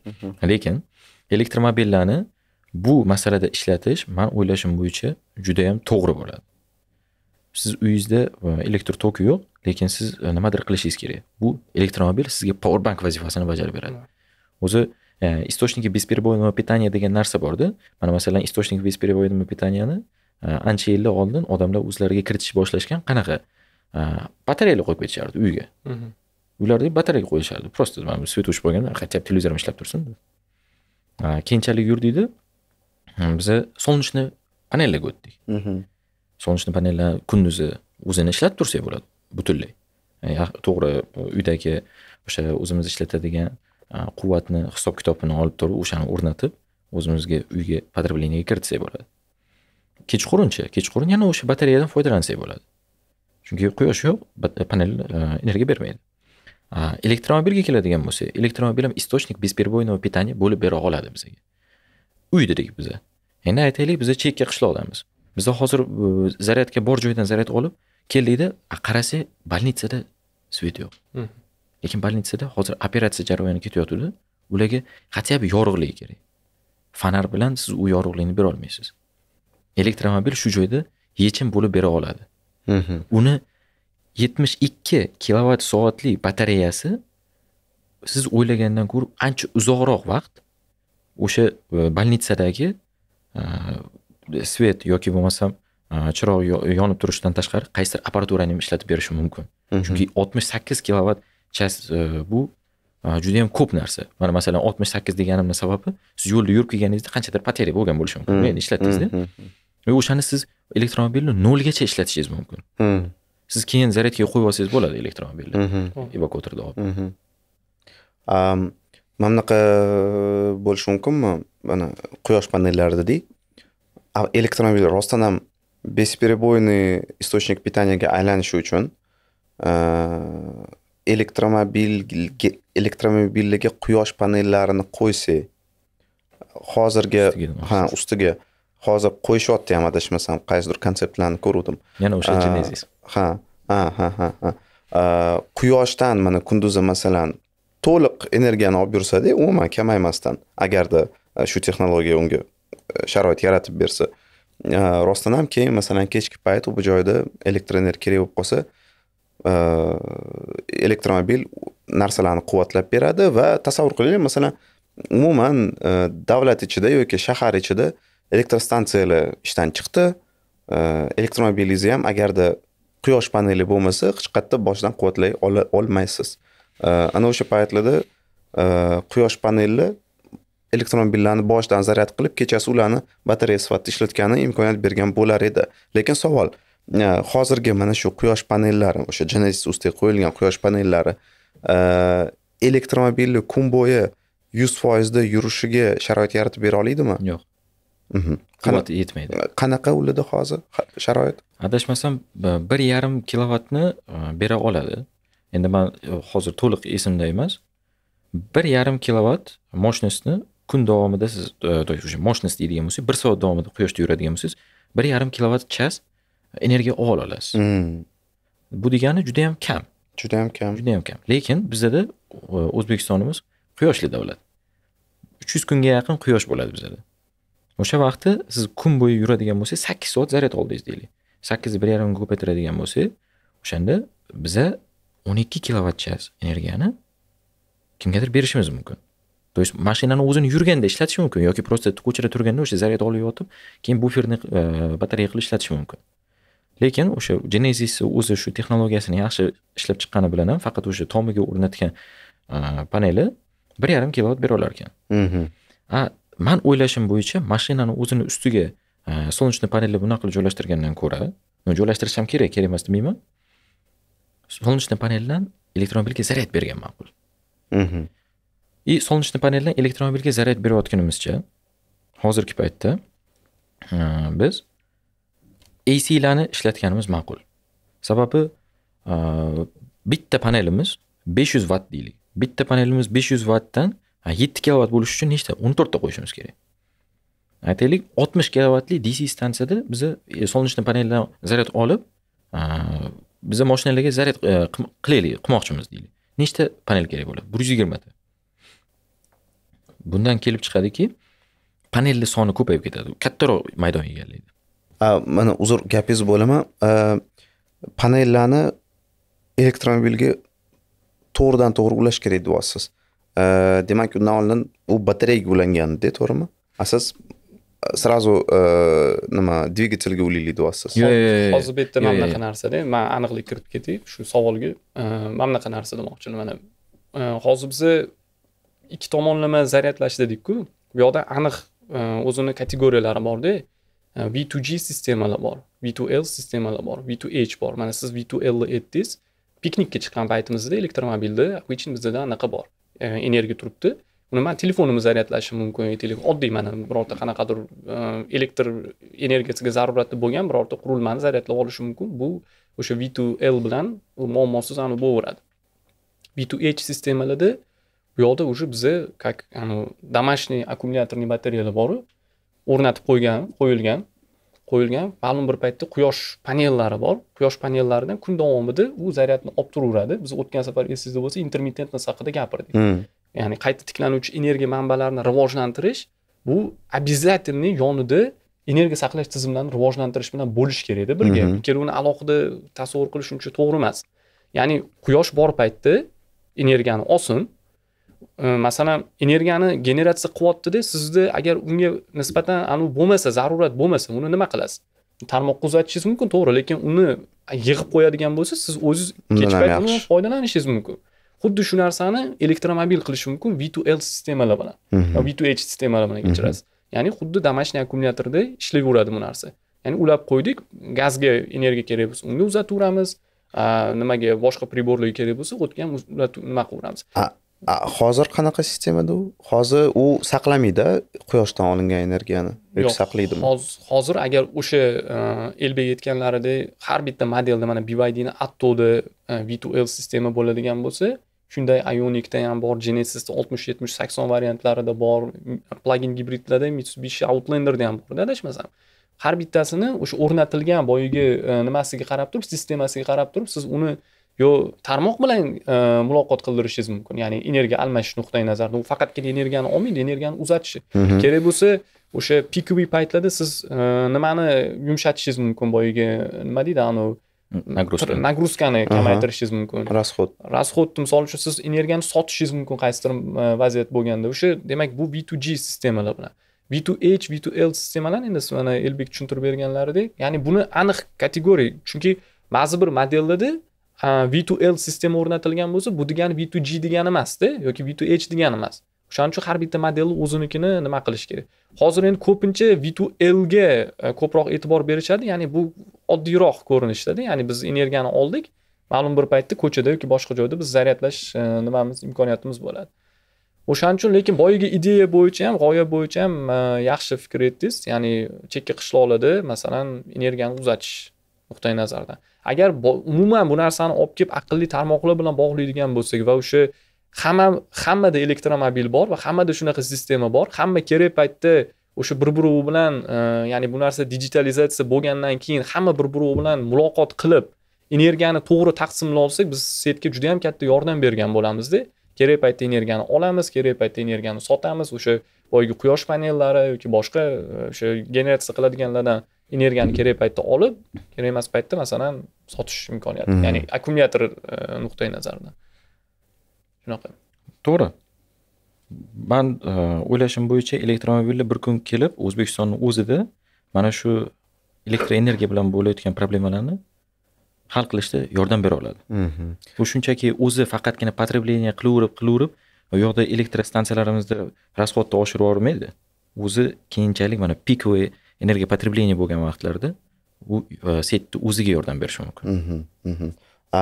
Mana mana bunaqa teoriya ishlashi mumkinmi? A, sxema masalan a, elektromobilda quyosh paneli o'rnatilgan. Mana shu quyosh panellar quyosh energiyasini elektromobilni qanaqadir bo'limida saqlaydida lekin masalan elektromobilni o'zi uchun ishlatmaydi saqlab turadi shunchaki. Bagajga e, batareya solib qo'ydi degandek edi. Ha ha ha ha ha. Ana qanaqadir alohida bo'limda saqlab turadida va masalan kontaktsiz e, zaryadlash e, texnologiyasi rivojlangandan keyin tasavvur qilinglar agarda masalan ko'chada e, stoyankalarda maxsus qanaqadir joylar bo'lsada ustiga avtomobil turadi. Faqatgina avtomobil zaryadni olmaydi zaryadni beradi. Ana shu yig'gan quyosh energiyasini berib yuboradi. O'zi uchun alohida masalan stansiyalarda yoki uyda avtomobilni o'zi yurishi uchun alohida zaryadlanadi va yurgan paytda quyosh yig'gan quyosh energiyasini ana shu platformalarda shaharga masalan berib yuboradi. Siz ikkala holatda ham energiyani yig'ish haqida gapiryapsizda uni alohida alohida sistema qilib qarashni o'zi unchalik ham e, to'g'ri bo'lmaydi nima sababdan? Chunki e, akkumulyator blogi bitta o'rnatiladi Mhm. Uni vazifasi u energiyani elektr energiyasini kimyoviy energiya sifatida saqlab turibdi va zarur Mhm. bo'lgan paytda farqi yo'q u u moshinani elektromobilda yurishi uchun bo'lsin yoki boya aytganimizdek qaysidir bir e, e, deylik inshootni yoki qurilmalarni yoqish uchun elektr bilan ta'minlash uchun uni o'sha elektr energiyasini saqlovchi tizim sifatida qarayveramiz bu narsani Mm. ya'ni uning uchun alohida bitta tizim qilishdi va uning uchun yana boshqatdan qanchadir e, hajmni qanchadir massani avtomobilni arxitekturasini boshqatdan qilib chiqqan holatda manimcha uni zarurati yo'q. Ya'ni bitta akkumulyator blogi o'sha yerda energiya bo'lsin ma'lum birini masofaga sarflatsin ma'lum birini shu zarurat bo'lganda uzatsin.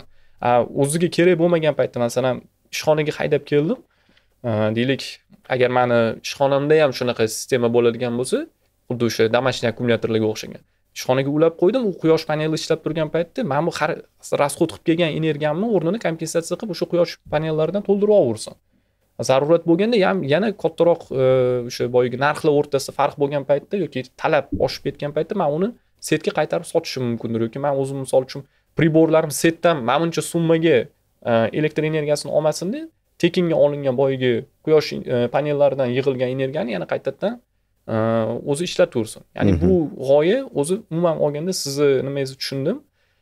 Lekin bu yaxshi narsa. Faqat bunda alohida sistema qilishni zarurati yo'q demoqchimanda mani shaxsiy fikrim.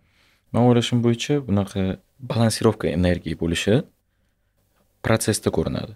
То есть bizaga bu narsa kerak yoki kerak emasligini bizani sharoitimiz ko'rsatadi. Mana chunki smart grid sistemasini kirib kelishini sababi ham o'zi shunaqa bo'lgan. Qaysidir rayonda tok kerakligi uchun elektromobilni kim ko'rgan bo'lsa power bank deydi Hmm. mani o'zimda oldin shunaqa fikr bor edi bolgarka derdim chunki Hmm. tez birdan ushib ketadida Hmm.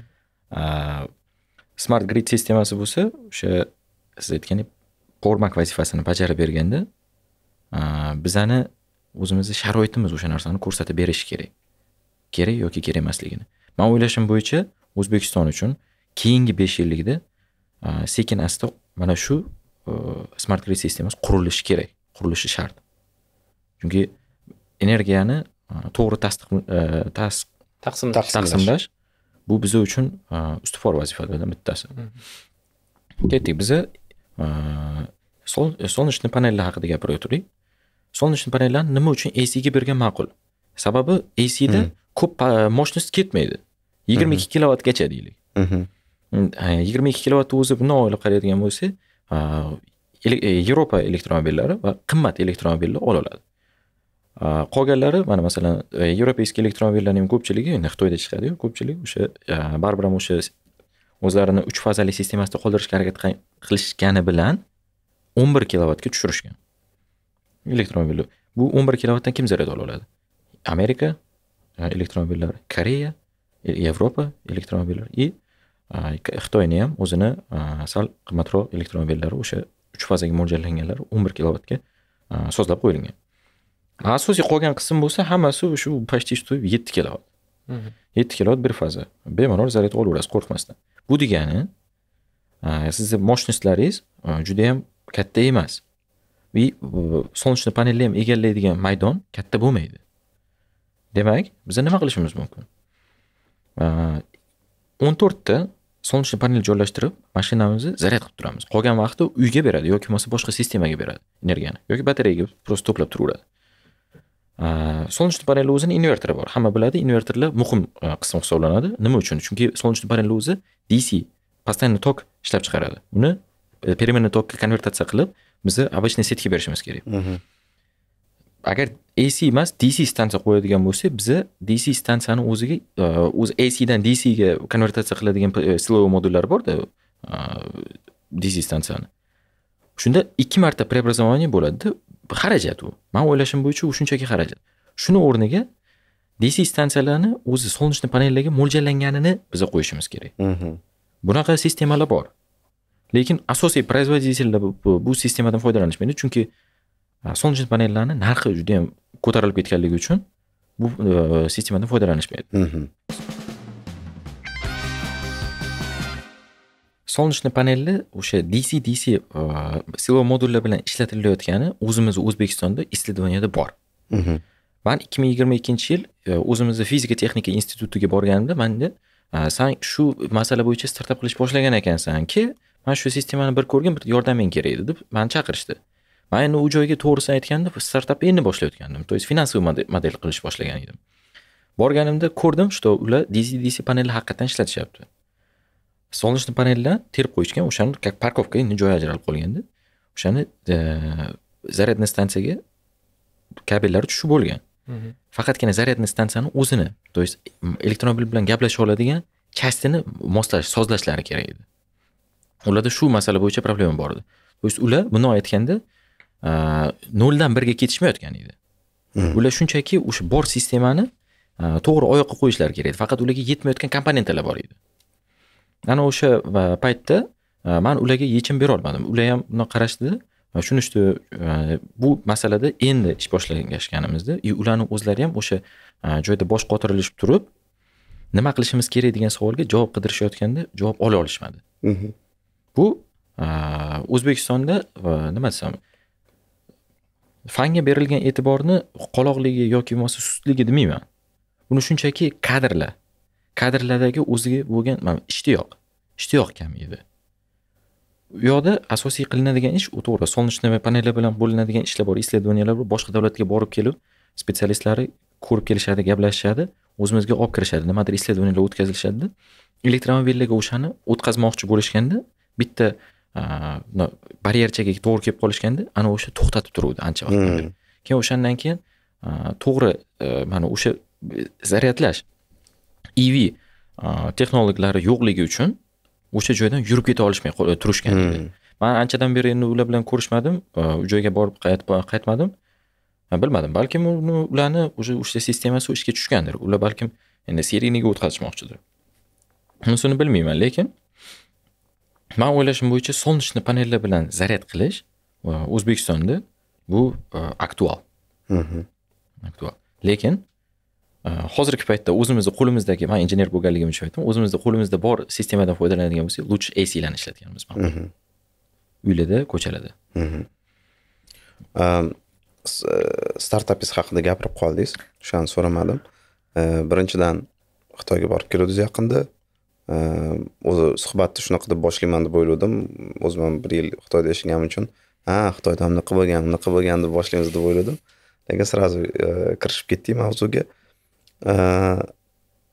Startapingiz haqida o'zi mana ebbda ishlaysiz.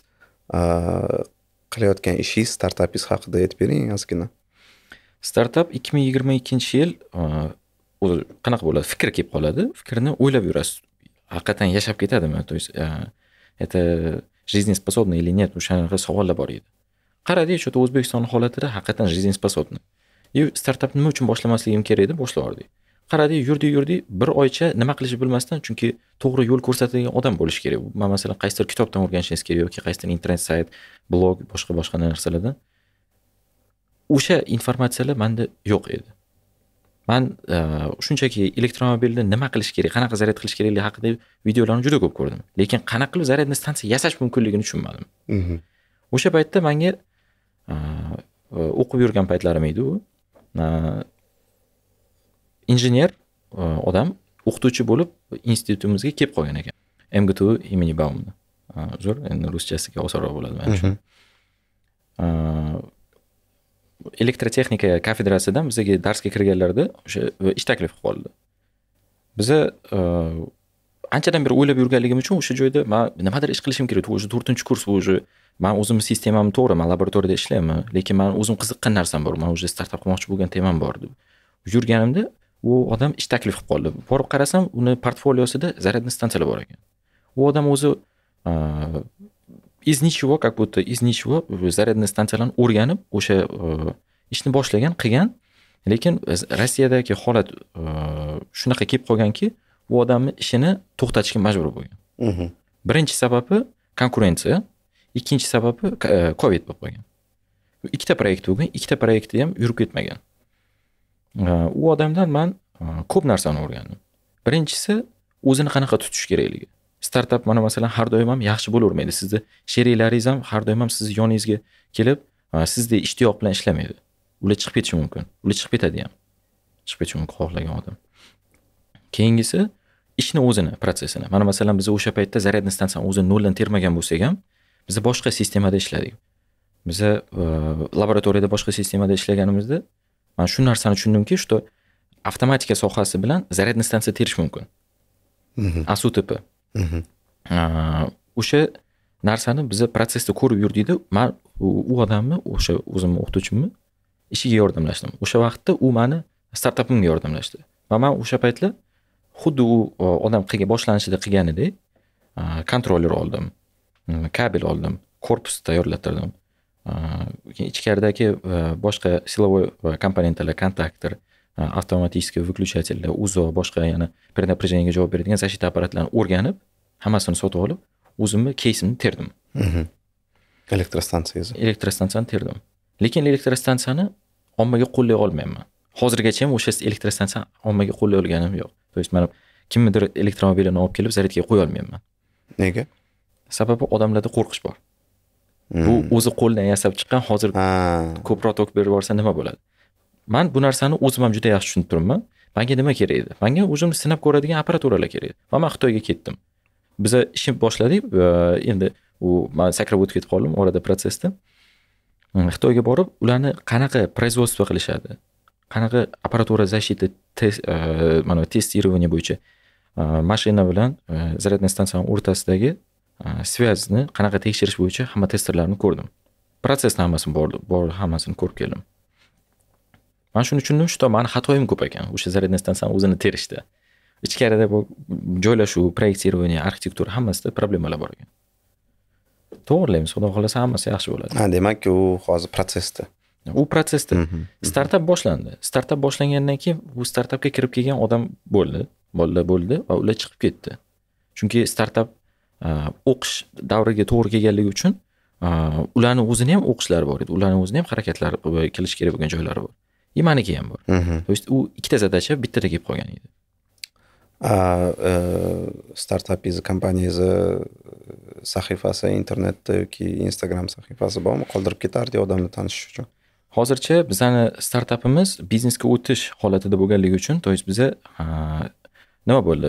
Avgust oyi biza bo'ldi уже niyat so'nadi deb turgan joyda man shu zaryadniy stansiyalarga qiziqib yurgan odamlar bilan ko'rishib qoldim ular bilan tanishib qoldim Mhm.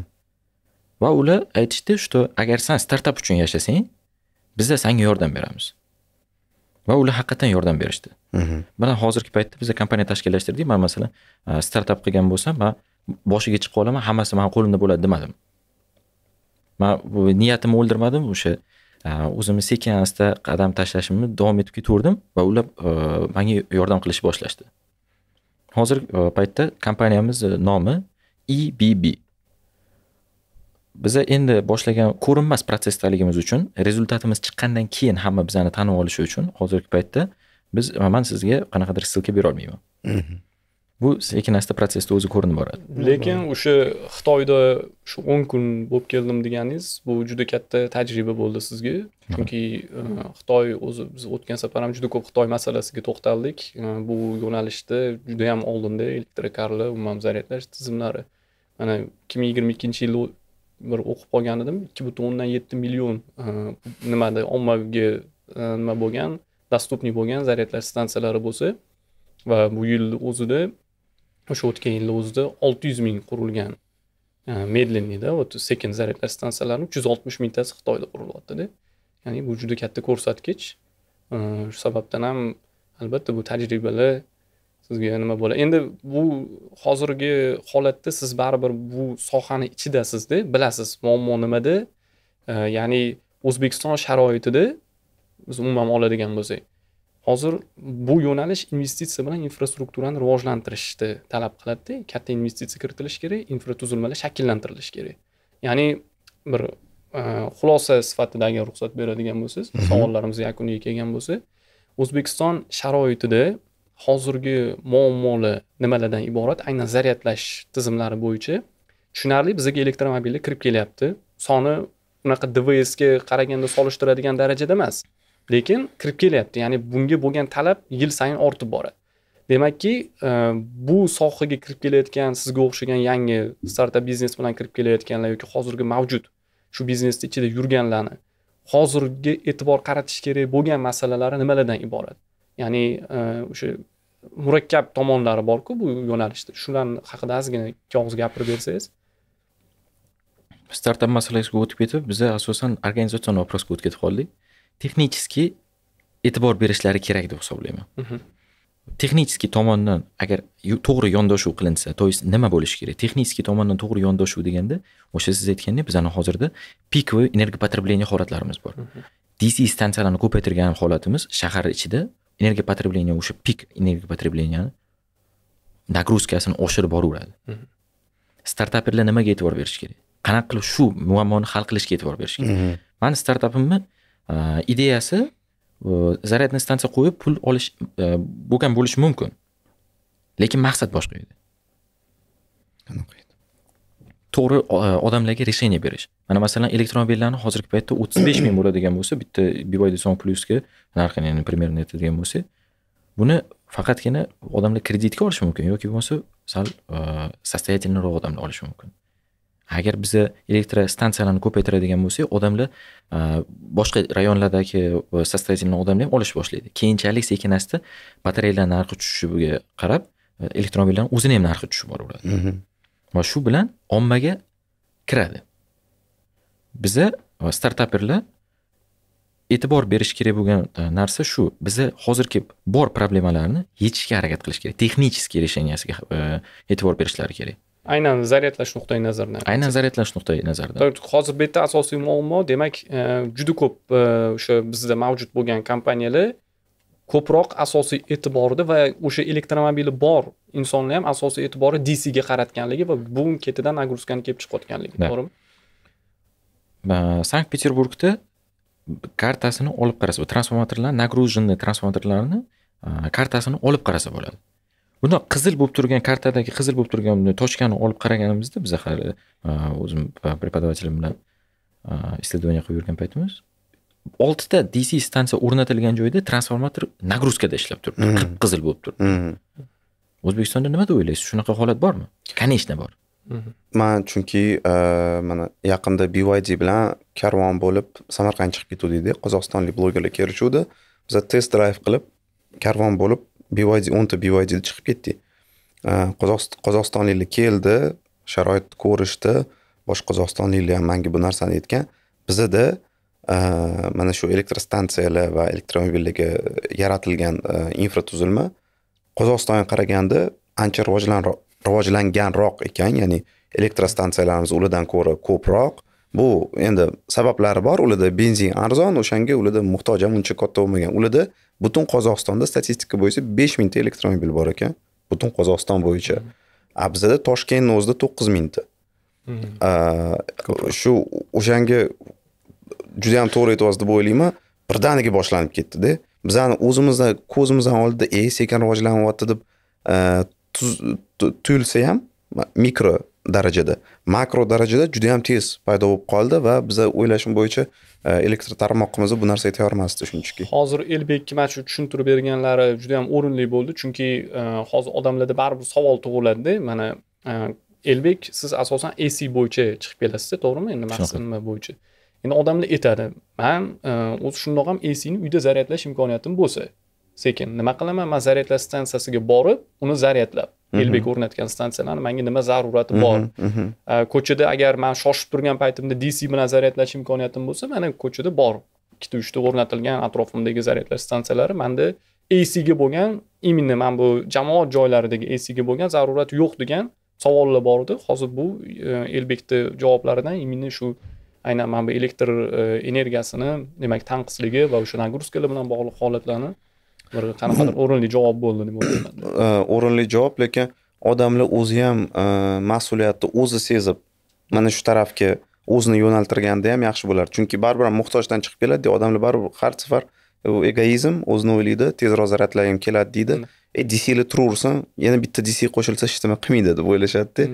E, o'shanga qanaqadir yana bitta mexanizm paydo bo'lsa odamlarga masalan elbek qilayotgan ish to'g'ri ekanligini va mana shu ish taraflama ham qo'llab quvvatlash kerakligini tushuntirib beradigan tabiiy mexanizm paydo bo'lsa yaxshi bo'lardi va shu o'rinda man aytib ketay akkumulyator mutaxassis sifatida dc bilan hadeb zaryadlavermaydi zaryadlash e, juda ham Ha. akkumulyatorda tez ishdan chiqishiga biz bu narsani qaytarishdan charchamaymiz zarurat bo'lganda dc bilan zaryadlash kerak zarurat bo'lmaganda bemalol ac bilan. Chunki uni mantig'i ham yo'q bo'lib qoladi. Uyga kelib bir soatda zaryadlab olganimiz mm, chunki kechasi bilan bizda elektromobil tursa sakkiz soat ham turishi mumkin. Mana shu tabiiy mexanizm sifatida ishlashi ham mumkin. Odamlarga dc batareyalarni o'ldiradi deb tushuntirib bersak ko'proq. Shunaqa. A, uzr gapingiz bo'ldim. bu a, добавкасы bo'lishi kerak то есть производитель o'zini maslahati bir oyda uch martadan ko'p dc stansiyada zaryad qilmaslik kerak производитель maslahati. Ну endi rekomendatsiya uni hech kim o'zi instruksiya bo'yicha shunaqa yoziladi. Ya'ni Hmm. c rate deb oldingi safar ham man aytib ketdim bu narsani c rate bo'yicha bir c bilan yoki nol yetti c bilan nol sakkiz c bilan zaryadlash kerak. Hmm. tavsiya etiladigan zaryad lekin juda kam inson uni shunchaki kitobni ochib u informatsiyani topib o'qishligi mumkinda. Shu sababdan ham e, buni to'g'ri yo'lga mana hozir biz mana ikkita son ketma ket sigma podkastda e, shunaqa ko'rsatuv qilyapmiz. Ya'ni suhbatlashyapmiz va asosiy maqsad mana shu elektromobillarni targ'ib qilish. Lekin o'sha targ'ib ham qaysidir ma'noda mantiq mantiqan e, ilmiy asoslangan bo'lishi kerak ya'ni biz chiqib olib zaryadlash stansiyasi ac yaxshi yoki elektromobillar yaxshi degan narsa emas uni ortidagi muammolar ularni bartaraf etilishi bilan bog'liq masalalarni ko'rib chiqqan holatda gapirganimiz manimcha e, va bizaga shu imkoniyat bergani uchun ikki safardan beri sadullaga rahmat deymiz. Sizlarga rahmat. kelib tushuntirib berganinglar uchun Ho'p. Ac stansiyani uzr yana bemalol. Ac stansiyalarni yaxshi tarafi nima? Bu standart o'sha man aytganimdek standart zaryadlash uslubi bo'lganligi uchun ac stansiyalarda hozir mana odamlarda hozir birdan shu savol chiqadi ha nima qilaylik? Hmm, hmm, hmm. ha ko'chada man yuravermayman qani qayerda sani acing bor? biza e, shu narsani yo'lga qo'yishimiz kerakki etajni parkovkalarimiz bor har bitta to'yxonamiz yonida parkovka bor. Boshqa boshqa joylarda mana masjidlarimiz yonlarida parkovkalar bor. Ana o'sha joylarda agar zaryadniy stansiyalar aclar ko'payadigan bo'lsa odamlar kelib turib o'sha joyda bir qo'yadida yigirma foiz zaryad oladi ketadi. Ishxonasiga boradi yigirma foiz zaryad oladi ketadi. Yuradi qancha yuradi uni bilmayman. Masalan yuz kilometr yurar bir yurishda yoki qanchadir foiz ishlatar. O'ziga kerakli foizni oladi boradi foizni oladi ketadi. Boradi qo'yadi boradi qo'yadi ketaveradi. Shaharda shu infrastruktura rivojlansa bizani pikovoy energiya потреблениямizga ham yordam bo'la oladi. Lekin hozirgi paytdagi bizani решенияmiz dc stansiyalarni ko'paytirish решенияsi noto'g'ri emas. Chunki odamlar zaryadniy stansiyani ko'rib e moshina olishi mumkin ekan endi. O'rganish kerak ha. O'rganish kerak. Infratuzilma paydo bo'lishi Hmm. kerak. Keyin infratuzilmanichi aclar bilan birdan qurib bo'lmaydi odamlar borki e vaqtim ko'p ketadi nima qilasan boshimni qotirma deydi. Ular dcda zaryad qiladida bir qirq minut zaryad qiladi uzog'i bilan u endi moshinasiga olib keyin ketaveradi ishini qilib. A borgan sari o'sha dclar hamma joyda o'sha odamlarni ko'zini qotirsa demak olsam bo'ladi zaryad qilsam bo'ladi deb keyin aclarga o'tamiz sekin asta sekin dclarni o'rniga shundoq hozir bir aniqlik kiritib ketaylikda biz shunaqa xulosa bo'lib qolmasin mana siz hozir ac bilan startap bilan chiqib kelyapsiz lekin bu degani hozirgi kompaniyalarda ac rejim yo'q degani emas. Ya'ni ularda ham chademo bor ularda ham ccs bor. Ya'ni combine charging system. Mana shu narsaga ham aniqlik kiritib ketaylikda hozir shunaqa tasavvur paydo bo'lib qolishi mumkin. Что hozir hamma zaryadniy stansiyalar bular dc lekin biz qanaqadir bir unikalniy e, taklif bilan kirib kelyapmiz ac bilan degan narsa bo'lib qolmasligi uchun aniqlik kiritib ketsangiz. Ho'p demak siz aytmoqchi bo'lgan narsani man tushundim что standartlarni aytib berishim kerak. Da, standart bo'yicha e, aytadigan bo'lsak bizani o'zbekistonimizda hozirgi Mhm. paytda bitta aniq belgilangan standart yo'q. Mhm. ko'pincha ko'p davlatlar e, dunyodagi ko'p davlatlar yevropa standartini Mennekes kompaniyasidan ishlab chiqarilgan type ikki Hmm. e, ac standartini ishlatishi ommaga kirgan edi. Shuning uchun ham hamma biladi. Bundoq qarasa bundoq qarasa, ha type 2 type 2 Hmm, type 2 hmm, hmm. yevropaga yo boshqa davlatga chiqsangiz mana xitoyga borsa ham dajida sanga qanaqa zaryadniy stansiya kerak desa manga a, zaryadniy stansiya kerak. Man bilmayman qanaqa bu kabi standart bo'lishi kerak desa sanga demak type 2 kerak deb beraveradi Hmm. A, amerikada o'zini standarti bor yevropada o'zini standarti bor A, xitoyda o'zini standarti bor. To есть xitoy o'zi bir yil yashagan ekansiz bilasiz ular o'zi uchun dunyoni boshqacha rivojlantirishgan. Shunaqa. U- o'zini ichida rivojlangan. Ha o'zini ichida rivojlangan u davlat ular o'zini standartini kiritib то есть gbt desak ular bu e, xitoycha so'zlar o'zi. Gbt degani bu konkretni shtekerni o'zini nomi emas. Mana type 2 deganimizdek o'zini nomi emas. Bu standartni shunaqa deyiladi. Mana masalan bizada ghost deyilsa ularda gbt gb standart shunaqa kiradi. Ular e, shu uchun har doim aniq aytish kerak gbt ac gbt dc endi standartlarga o'tamiz nomlariga birinchi standart bu type 1 E, o'zilarini sai sertifika e, sai standarti bo'yicha shunaqa nomi bo'lgan. Undan keyin bu ac e, standart bo'lib keyingi standartimiz yevropaniki. Mennekes kompaniyasidan chiqarilgan type 2 Mhm. undan keyin xitoy o'zi uchun ac standartni yaratdi. O'zi uchun e, e'tibor bersanglar bo'ladi xitoy standarti bilan xitoy ac shtekeri bilan yevropa type 2 shtekerini bir biriga tiqsa bo'ladi. U zerkalni bir biriga xitoy kopировать qilgan o'sha paytda lekin hozirgi paytda xitoy o'zi uchun o'zi sistema ishlab chiqdi endi butun dunyo kopировать qiladi. Uchta ac e, standartni aytdik. Ikkitasi e, amerika bilan yevropa bo'lsa bittasi e, xitoy.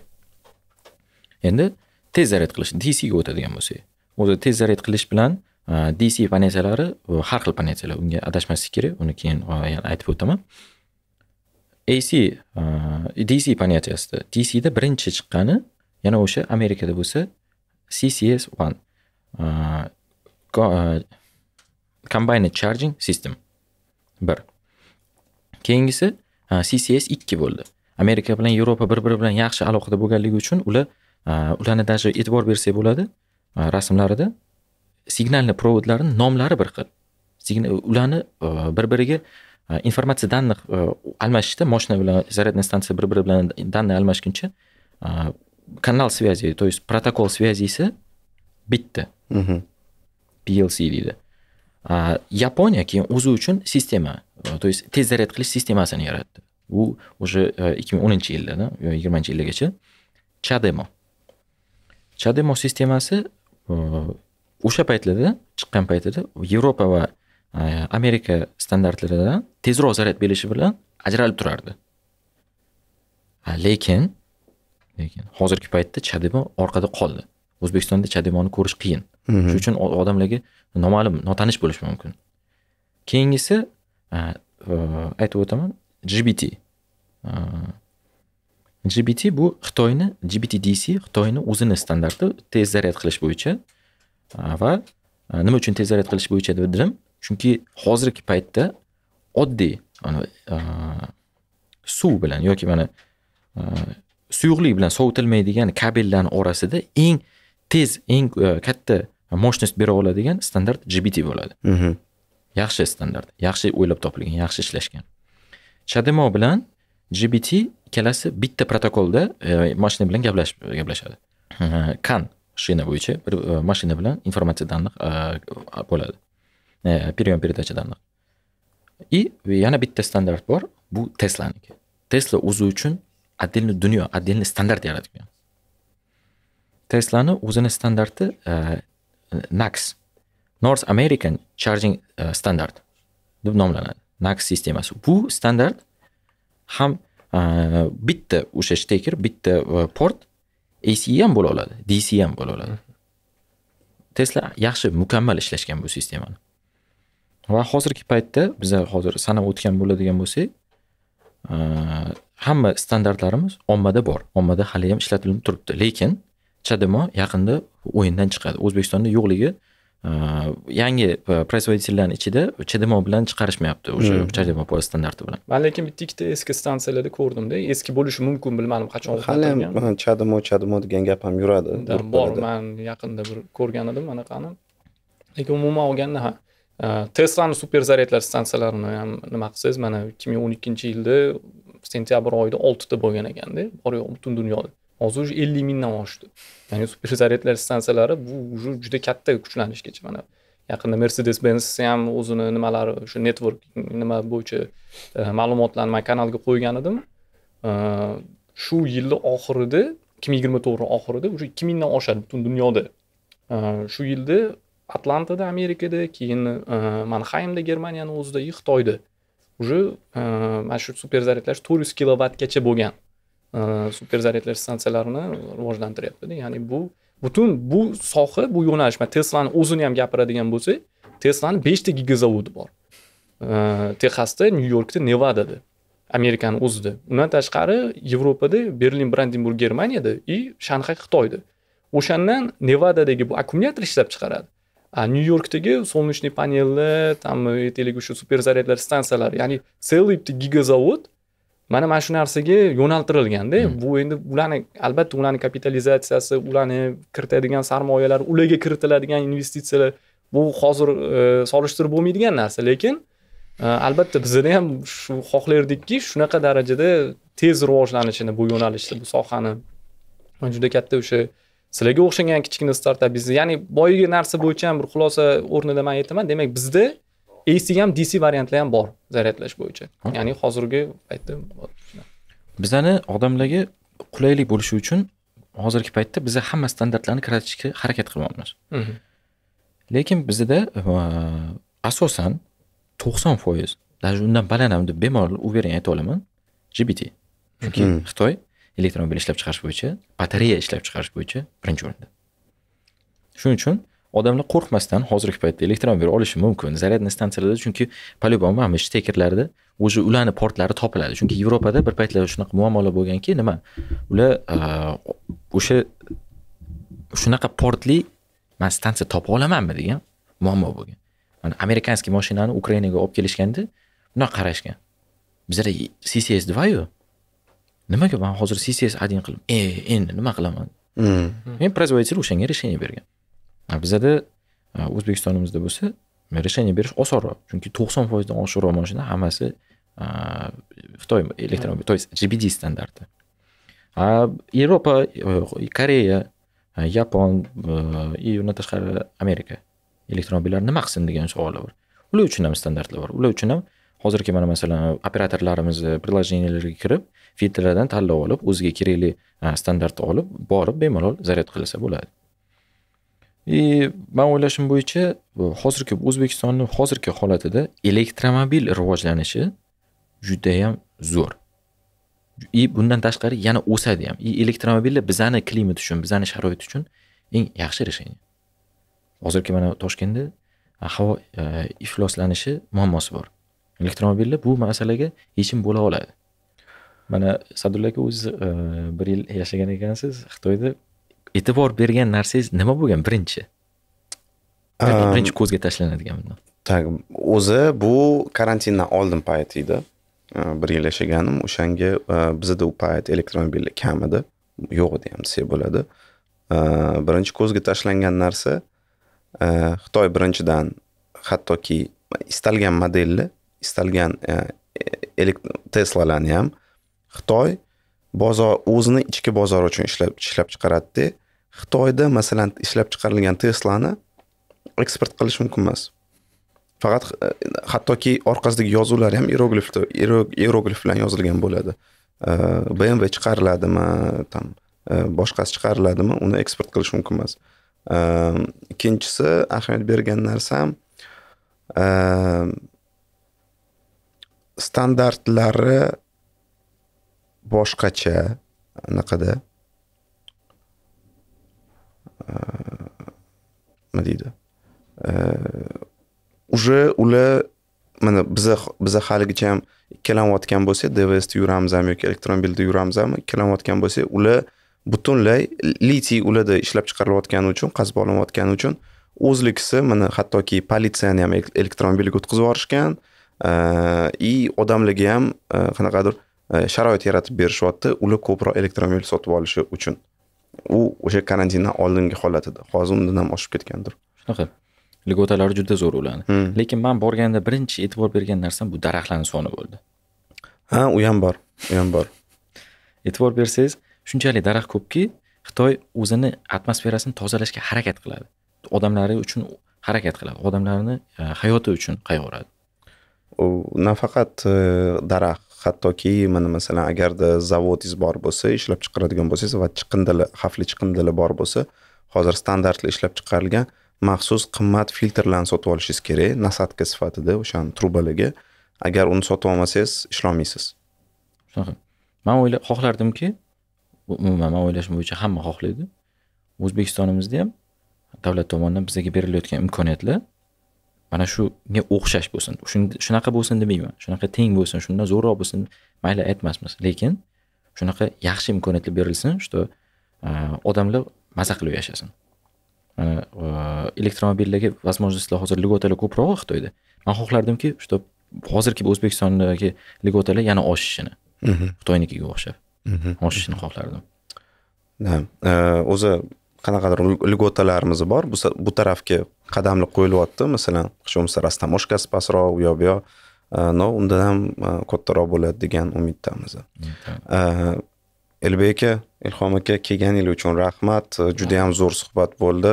Man o'ylayman bu eng haligi tarqaladigan sonlarimizdan sonlarimizdan biri bo'ladi shekilli. Chunki bir payt vaqt yo'qotib qo'ydim. Eshitib o'tiribman savol berib tabiiy bo'lib ketdi bir payt juda yam mazza qildim. O'shanga keyingi safar ham hali sezilyaptiku gapimiz tugamaganligi. Lekin e, odamlar bo'lib bo'lib eshita olishi uchun e, bo'lib bo'lib uchrashib boshidan yozish kerakda masalan mana ilhom aka bilan ikkinchi marta uchrashyapmiz agarda bitta odamga darrov to'rt soatlik podkast berib qo'ysangiz eshitolmaydida agarda e, там mana shu to'rt soatni bo'lib bo'lib там bir marta uchrashib ikki marta uchrashib uch marta uchrashib bersangiz odamlar iste'mol qilgan imkoniyati bo'ladi. Haligi jismoniy imkoniyati bo'ladi. O'shanga yana bir marta chaqirganimizda kelasiz degan umiddamiz va startapingizdan yangiliklar bo'ladi degan umiddamiz o'sha payt. Ilhom aka o'sha safar ham yonimda bo'ladi degan umiddaman. Xudo xohlasa. Xudo xohlasa rahmat sizlarga. Voy sahifangiz yo'q a anaqani aytib ketmoqchi edim. Ssilkani qoldirib ketaman demoqchi edim. Uh, bu sigma podkast elbek aka ilhom aka zaryadlash haqida mavzu edi. Hammaga rahmat.